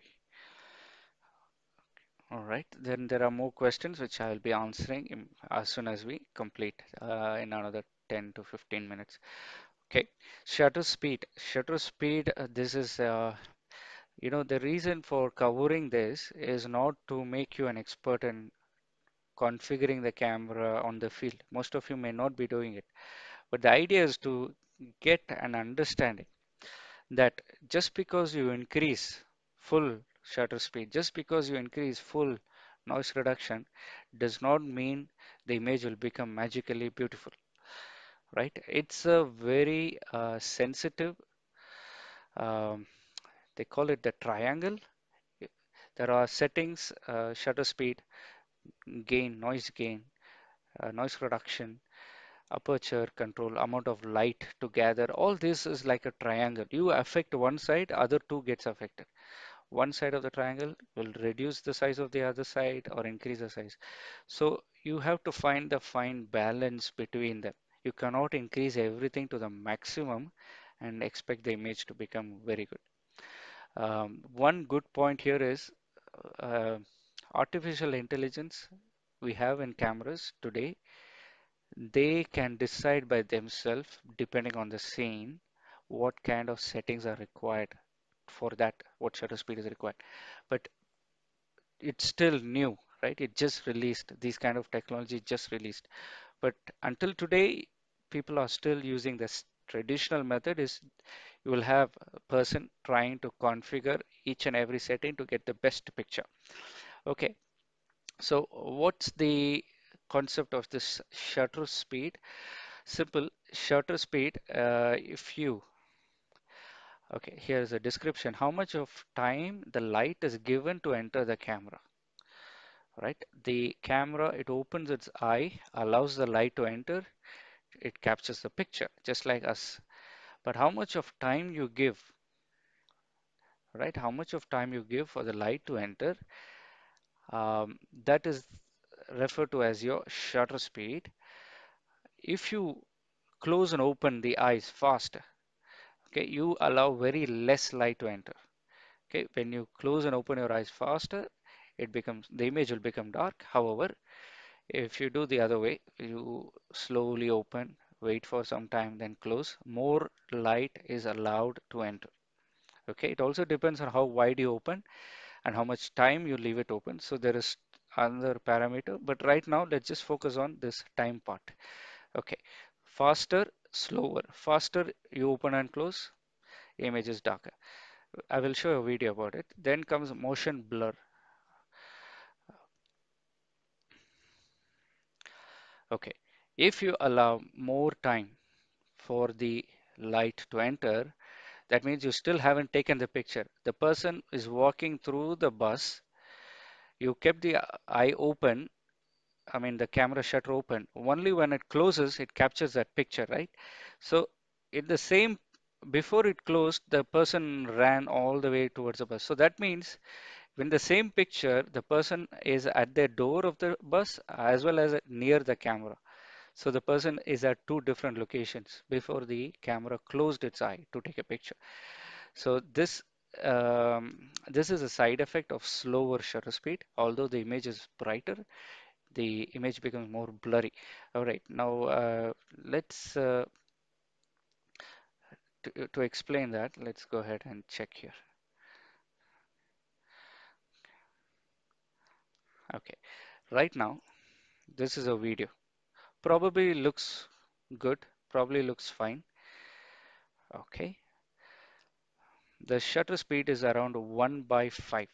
That means in one second it is closing five times. 1 by 5. Okay, what's the challenge? When I pause the image and take a closer look at the number plate, it's very blurry. Okay.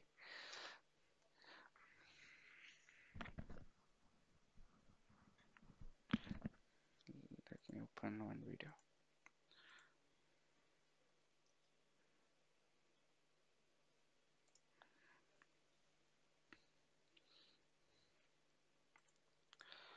This is a common video which I referred from YouTube uh, explaining about shutter speed.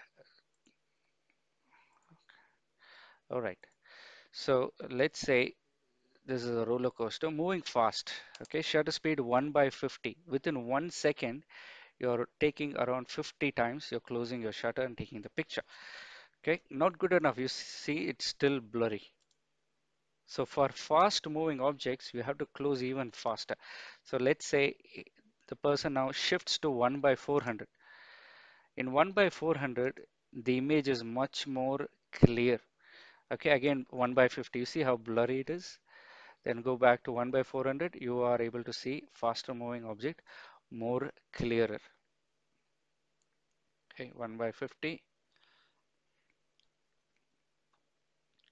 1 by 520.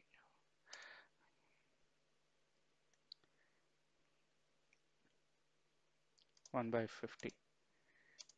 If I pause, the face is all smudged. Cannot see the details clearly. Oops.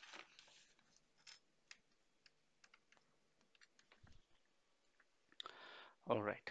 So um, let's close the video.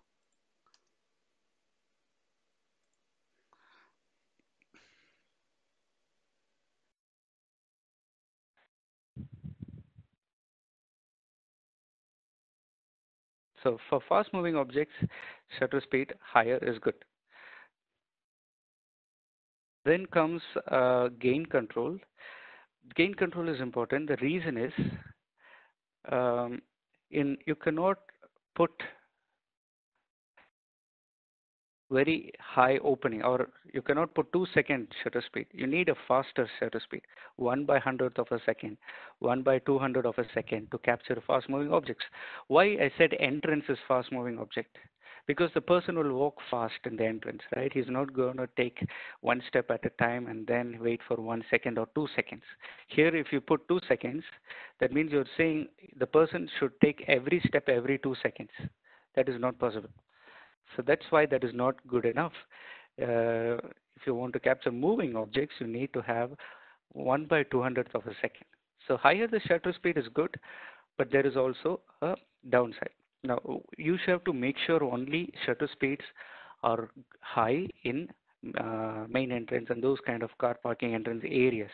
And what, how much you can say is up to 1 by 10,000 or 2000 this is good enough 1 by 2000 of a second okay? Now uh, shutter speed and frame rate has nothing to do there's no difference. Uh, the frame rate will still be 25 frames okay? So that is something else. Okay. now all right uh, now I'm going to talk about gain. Now uh, in your project your car is moving fast right? So you need to capture and increase the shutter speed now what to do? The image is very dark. There's no way to increase the lighting. All right, so in that case, there is another setting that is known as gain control. gain control is similar to uh, a very easy way to understand is if you don't hear anything you increase the volume right that is called gain you're increasing the gain you're amplifying the signal or if someone is talking on a microphone if you cannot hear him you increase the volume okay so that is good same way every camera gain is used but the challenge is even if let's say if someone is talking behind me even his voice will be amplified. Let's say no some noise is there. There's a background noise. Someone is talking behind my back, or there's a fan moving. There's some other equipment working. So AC sound, whatever, whatever noise, unwanted sound, that also gets amplified. So if you notice, gain level low and high. Low, the image is dark. What you saw here, the image is dark. But if you increase the gain, the image will become brighter. But the noise also starts to increase. Okay, let's go back. How important is gain? Right now, if you, it's called AGC, automatic gain control. AGC is off. Now, if you increase the gain, it will make it as good as day. Right? Gain control. So if I make it off, that means the camera is not increasing the amplification. Make it high, So basically it is amplifying whatever light is available and trying to see the image. So now I'm somehow able to see the person's face when he enters the door. Okay, so gain is available in every brand, every camera. Now gain is introducing another issue that is known as noise. Um, so that's why noise reduction technology came. Okay, so it's like you need everything and then you need something else to fix that. So noise reduction means uh, on the left side you can see this dot dot dot that is actually noise, unwanted information um, or uh, pixel with no relevant information, right? So noise reduction, there are two types, 2D and 3D noise. Uh, we have both. Most vendors have uh, also similar 2D, 3D noise. What it does is it tries to compare the image uh, and before and after and uh, remove this unwanted uh, noise. 2D noise, I will just explain what is the difference. 2D noise means within the same frame, it will try to compare, do some calculations and reduce the noise. 2D noise is good. 3D noise is better. 3D noise, it will compare multiple frames to reduce the noise. So when you apply 3D noise, the image is more crisp, more clear. Okay, so if you see on the top, uh, there's a tree with dotted dotted noise. 2D noise will remove somewhat, but 3D will remove entirely. Okay. now, now the uh, funny thing is, 3D noise has its own issue because it is comparing multiple frames to reduce noise. If the object is again moving faster, then you will also have again blurring effect because it's comparing multiple frames. It's called dragging effect is something you can see here. It's called ghosting. You see the person, you basically see him just little little bit because so let let it come back. So, so this is called ghosting because the camera is trying and struggling so hard. Now he has added light, so now it's more clear. Because there's no light, the camera is struggling to gather light, putting all the amplification, doing noise reduction, it leads to ghosting and uh, so this is ghosting.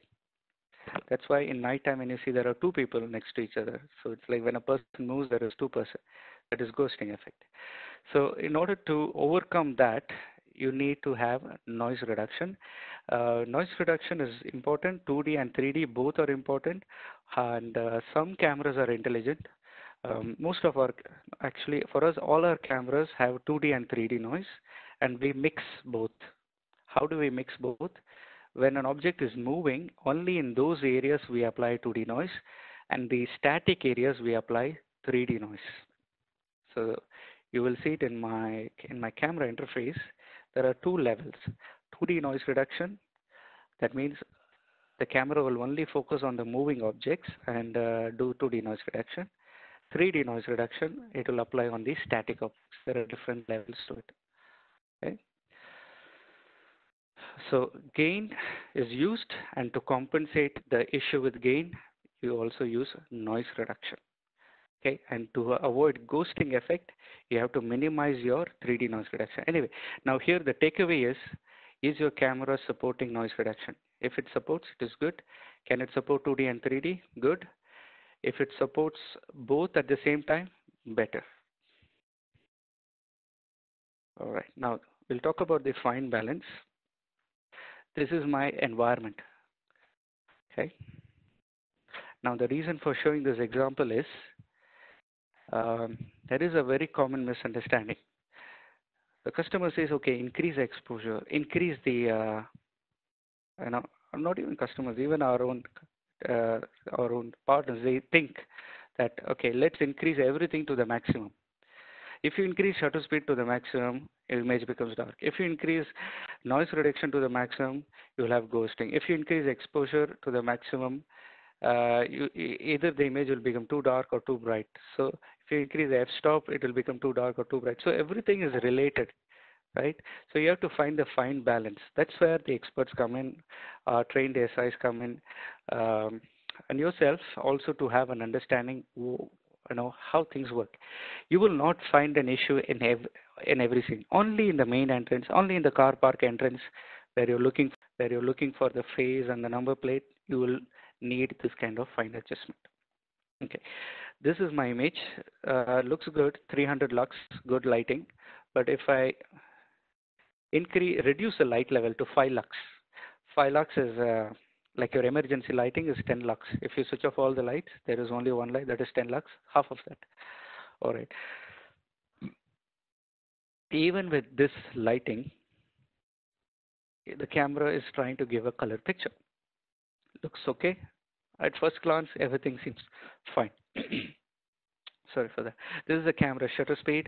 The camera is adjusting automatically. It will take a range, choose whatever shutter speed is important for that scene it will apply noise reduction. Uh, it will apply high gain. Now, it's fine. Overall, it image looks good. But when you zoom in and on, try to look at the number plate, you see the number plate is blurred out. Okay. Overall monitoring, you're happy, but when you do investigation, forensic search, you're not happy. So what to do? So this is where adjustment comes in. First thing uh, we have to do is we change the shutter speed. Right. You see before the image was bright. Now I'm increasing the shutter speed, image has become dark. But some some visibility is there on the number plate. Okay, still not good enough. So what I'm going to do, there is ghost. it's Fine. Overall, it image looks good. But when you zoom in and on, try to look at the number plate, you see the number plate is blurred out. Okay. Overall monitoring, you're happy, but when you do investigation, forensic search, you're not happy. So what to do? So this is where adjustment comes in. First thing uh, we have to do is we change the shutter speed. Right. You see before the image was bright. Now I'm increasing the shutter speed. Image has become dark. But some some visibility is there on the number plate. Okay, still not good enough. So what I'm going to do, there is ghosting, right? You can see the train multiple times. That is called ghosting. So I'm going to reduce the noise reduction. And because of noise reduction, there is ghosting. So now I switched off noise reduction. Now I can see the number plate. So I'm happy because I can see the number plate. But when I look at the image on the left side, I'm not happy because it looks very, very horrible. You see the lot of dots everywhere. It's very, very, very messed up. So you need both, right? So in that case, what we do is we need noise reduction. We have to do noise reduction. Now, the who, what is the root cause of this noise? Gain. Because the camera is doing too much gain, the noise is also amplified. So he's going to reduce the amplification, automatic gain control. He's now reduced it. Now the noise is gone almost, but the image is still super dark. So now we have to increase step by step, make the gain little bit middle and the noise reduction slightly higher, shutter speed slightly lower, and try to find the find balance so you can get the number clearly. Okay, so these are the most important factors for uh, capturing a good image. A camera should have flexibility in shutter speed. It should have noise reduction control. It should have good automatic gain control. Okay, so I have a question. What is uh, shutter speed 1 by 20? Okay, so question is which is faster? Let's see. Let me open an Excel sheet. Okay, note uh, calculator. Okay, if my shutter speed is 1, that means every 1 second the iris will close, take the picture and open and take another picture in every second. Okay. If it is 1 by 20th, that means 1 second divided by 1 by 20, 120. So the camera, the iris will move as fast as yeah, 0.008 seconds. So it is that fast. Uh, it's microsecond, nanosecond, that concept I cannot really relate at the moment the micro or nano, but it is 0.008 of a second. So we have cameras going up to 1 by 12,000 of shutter. So 1 divided by 12,000. So that is, yeah, 10 to the power 5. So that fast it can capture. Now, no object moves that fast. Uh, 1 by 2000, 5000 is good. Up to 10,000 is this. You can say it's a good camera, safe camera. And the shutter speed, the minimum should be 1 by uh, 1 second or uh, 1 by 30th. Generally speaking, if you notice, no one will use 2 second as a shutter speed because 2 second means you're saying the object should move every step every 2 seconds. So that's like super slow. Uh, we never use it in CCTV. We only use it for photography and all those areas where you want only still picture, only one picture, where you don't care about blur, but it just takes one picture. However, in CCTV, you have to capture multiple frames. So generally, people use 1 by 30. For if you take any camera out of the box, they are spec at 1 by 30. 1 by 30 is not good for fast moving objects, but it is good for general purpose monitoring. Okay. So 1 by 30 means 1 divided by 30th of a second. So divide in 30 parts, so 0.03 seconds. So at this speed, that means, uh, okay, another uh, point, higher the number, higher the shutter speed. Okay, now you don't have to worry. The good part is cameras come with predefined shutter uh, settings you don't have to worry what is exposure, you don't have to worry what is the closing and shutter speed and all that stuff. All our cameras come with, uh, with predefined presets. You can just tell the camera, this camera is not straightforward area, it is going to be in number plate area or in, it's going to be a lot of backlight or there's going to be a lot of bright scenes, a lot of glass or something like that. So if you just select this, automatically the camera will adjust every setting according to the sign. So we have done this presets based on our multiple feedbacks from different customers, uh, different settings that they use. So we have number plate preset, we have vivid video. Most of the demo cameras will be in vivid video mode. Uh, then number plate is for number plate area, indoor backlight, WDR. So you don't have to worry. All you do is just select and change the presets okay, to make it easier. So the idea is to make things process efficient, to, to cover, uh, to commission faster. Right, so we've covered a good amount of information today. So the last topic for today is the networking, where we will be discussing about IP address, and uh, we'll touch on the first part of IP tools today. We will explain how do you create an IP address for a device and what is the meaning of subnet mask and uh, gateway and all those things. So if you are aware of it, you will be able to communicate better to a networking person or even to a CCTV engineer in your project or you may be needed to configure a camera by yourself and you will have a better idea. Okay, now there are four parameters uh, involved when you create an IP address or for a device. That is uh, the IP address itself. Then there are other values that need to be entered, subnet mask, gateway, and DNS service. They're all related.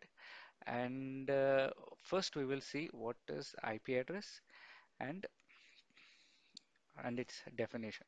Okay, IP address. IP address is every device needs to have a unique IP address. If you have a camera, it has its IP address will be different from a camera, another camera in that project. Each project will have a unique IP address. Then we do enter subnet mask, gateway, and DNS. Again, these will be explained in the coming slides. Okay. Now, in order to understand uh, what is the an IP address made of, it has a network ID and a host ID. Network ID means it's uh, okay. Let's take an example here. John Smith, Lisa Smith, they have a child, Emma Smith. They belong to the same family, Smith, from their last name, right? So that is the network ID. It's the uh, a camera belongs to which network? It can be a CCTV network of a project, network one of that particular project. There can be an office network. So each network will have an ID. That's the network ID.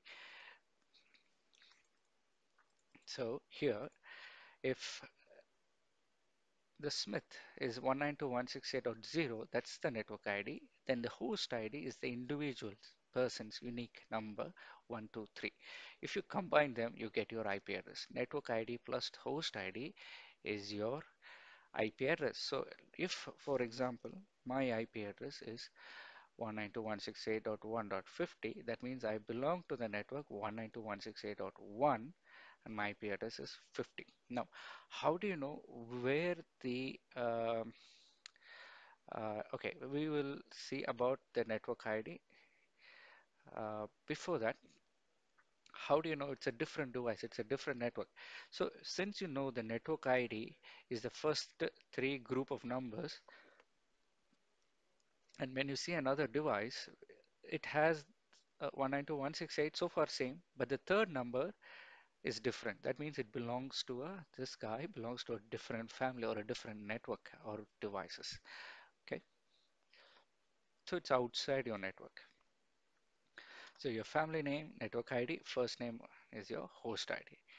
Okay. Now subnet mask. It uh, if you put a subnet mask of 255.255.255.0, that means the first three digits belong to the network ID. The last zero is your host ID. Okay.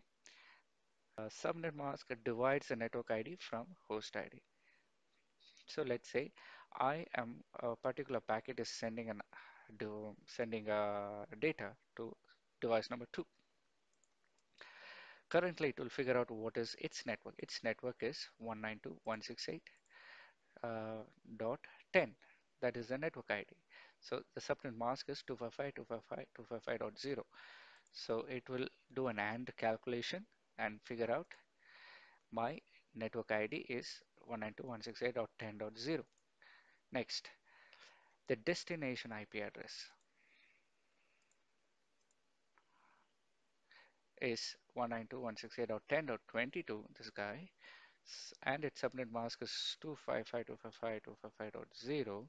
So it will its network ID is 10.0. So basically, how do you know a particular device's network ID? You do an AND calculation of its IP address and the subnet mask, and you will get the network ID. Very simple, right? So uh, 255 is actually 1111. When you do AND, it is it's like 0 plus 1 is 0. Okay, uh, the last digit is 0. Anyhow, whatever you do, the last will be 0. So you get the network ID at the end. Okay.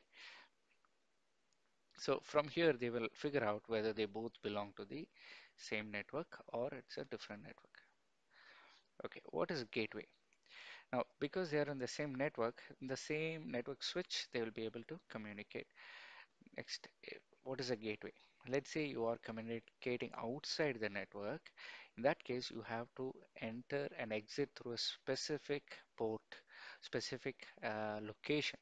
Every building has a specific entrance or an exit door. So that is called the gateway.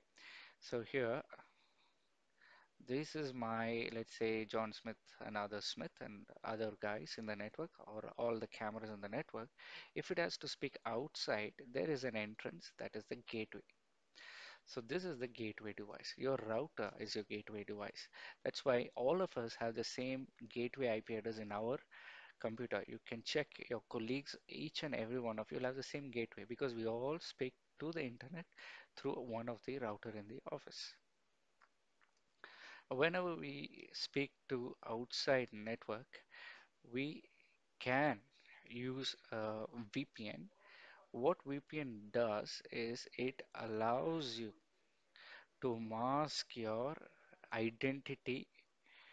For example, let's say I am speaking to, I am uh, in my office, my laptop is connected, or let's say, um, okay, let's take it uh, remote work from home.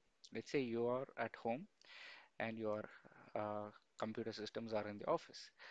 All right. In this case, what you would do is at your home, you will have a software called VPN client. On in your office, you will have a server called VPN server. So the VPN server will take the traffic from the office, encrypt it, and then send it through the internet, and then it will be received by your VPN client. The client will decrypt and send the data back.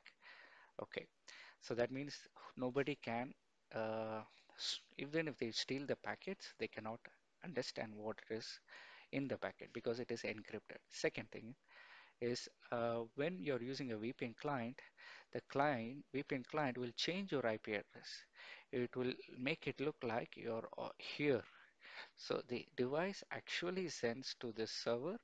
Within the server, it thinks you're actually in the office uh, because it changes your IP address to a local IP address as if you're in the office.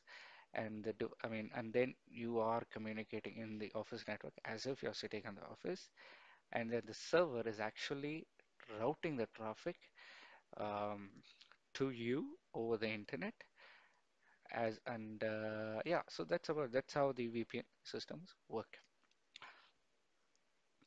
okay within an IP address there are different classes we don't have to go too much into detail but one key point there is something called as uh, yeah class C Class C IP address, Class A IP address, Class B IP address. Most of the local devices in your offices, you may be using to uh, Class C. Like if you have a small network, you can use Class C. Or if you have a large network, you can use Class B. Okay. So you can see here uh, the IP address range, starting range, and the ending range is already predefined. Looking at the number, you know it's a class C network. And uh, looking at the starting number, you know it's a class B network. Looking at the starting number, you know it's a class A network. All right.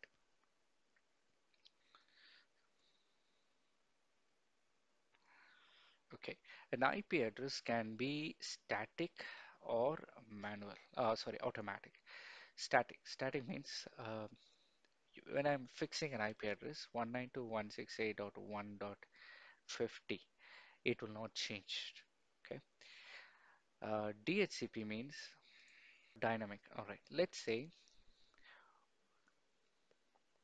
okay, let's say when you go to a mall, shopping mall, you are entering the shopping mall and you're connecting to its Wi-Fi network.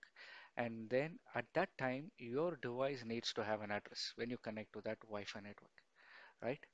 Okay. So when you go to the mall and you connect yourself, the router there will assign or, or this uh, the network will assign uh, IP address for you.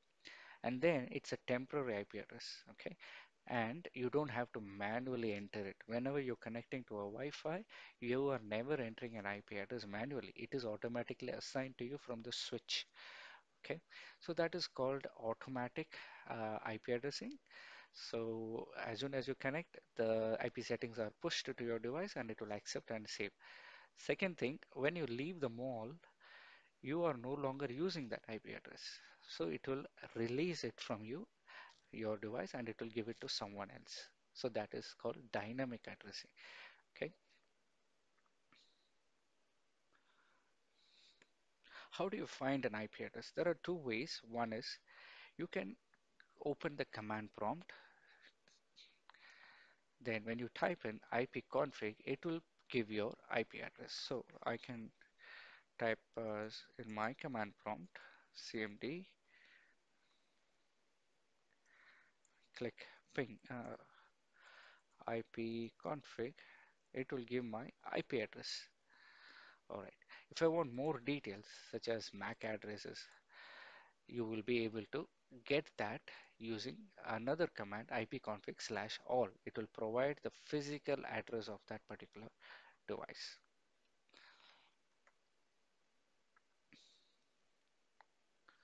Okay, regarding MAC address, we will be covering that in the next day, and that time you will be understanding it much better.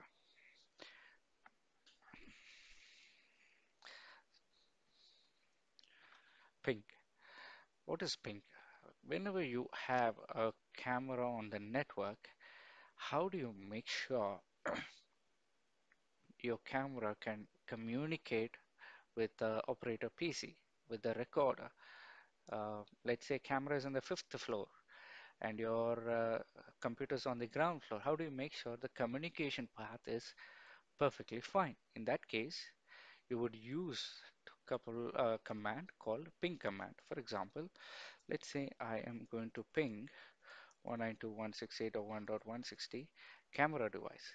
At this time, it tells me first connection is good. I'm able to communicate. All right, address is available. Uh, someone is already using that IP address, so that means I cannot use it for another device.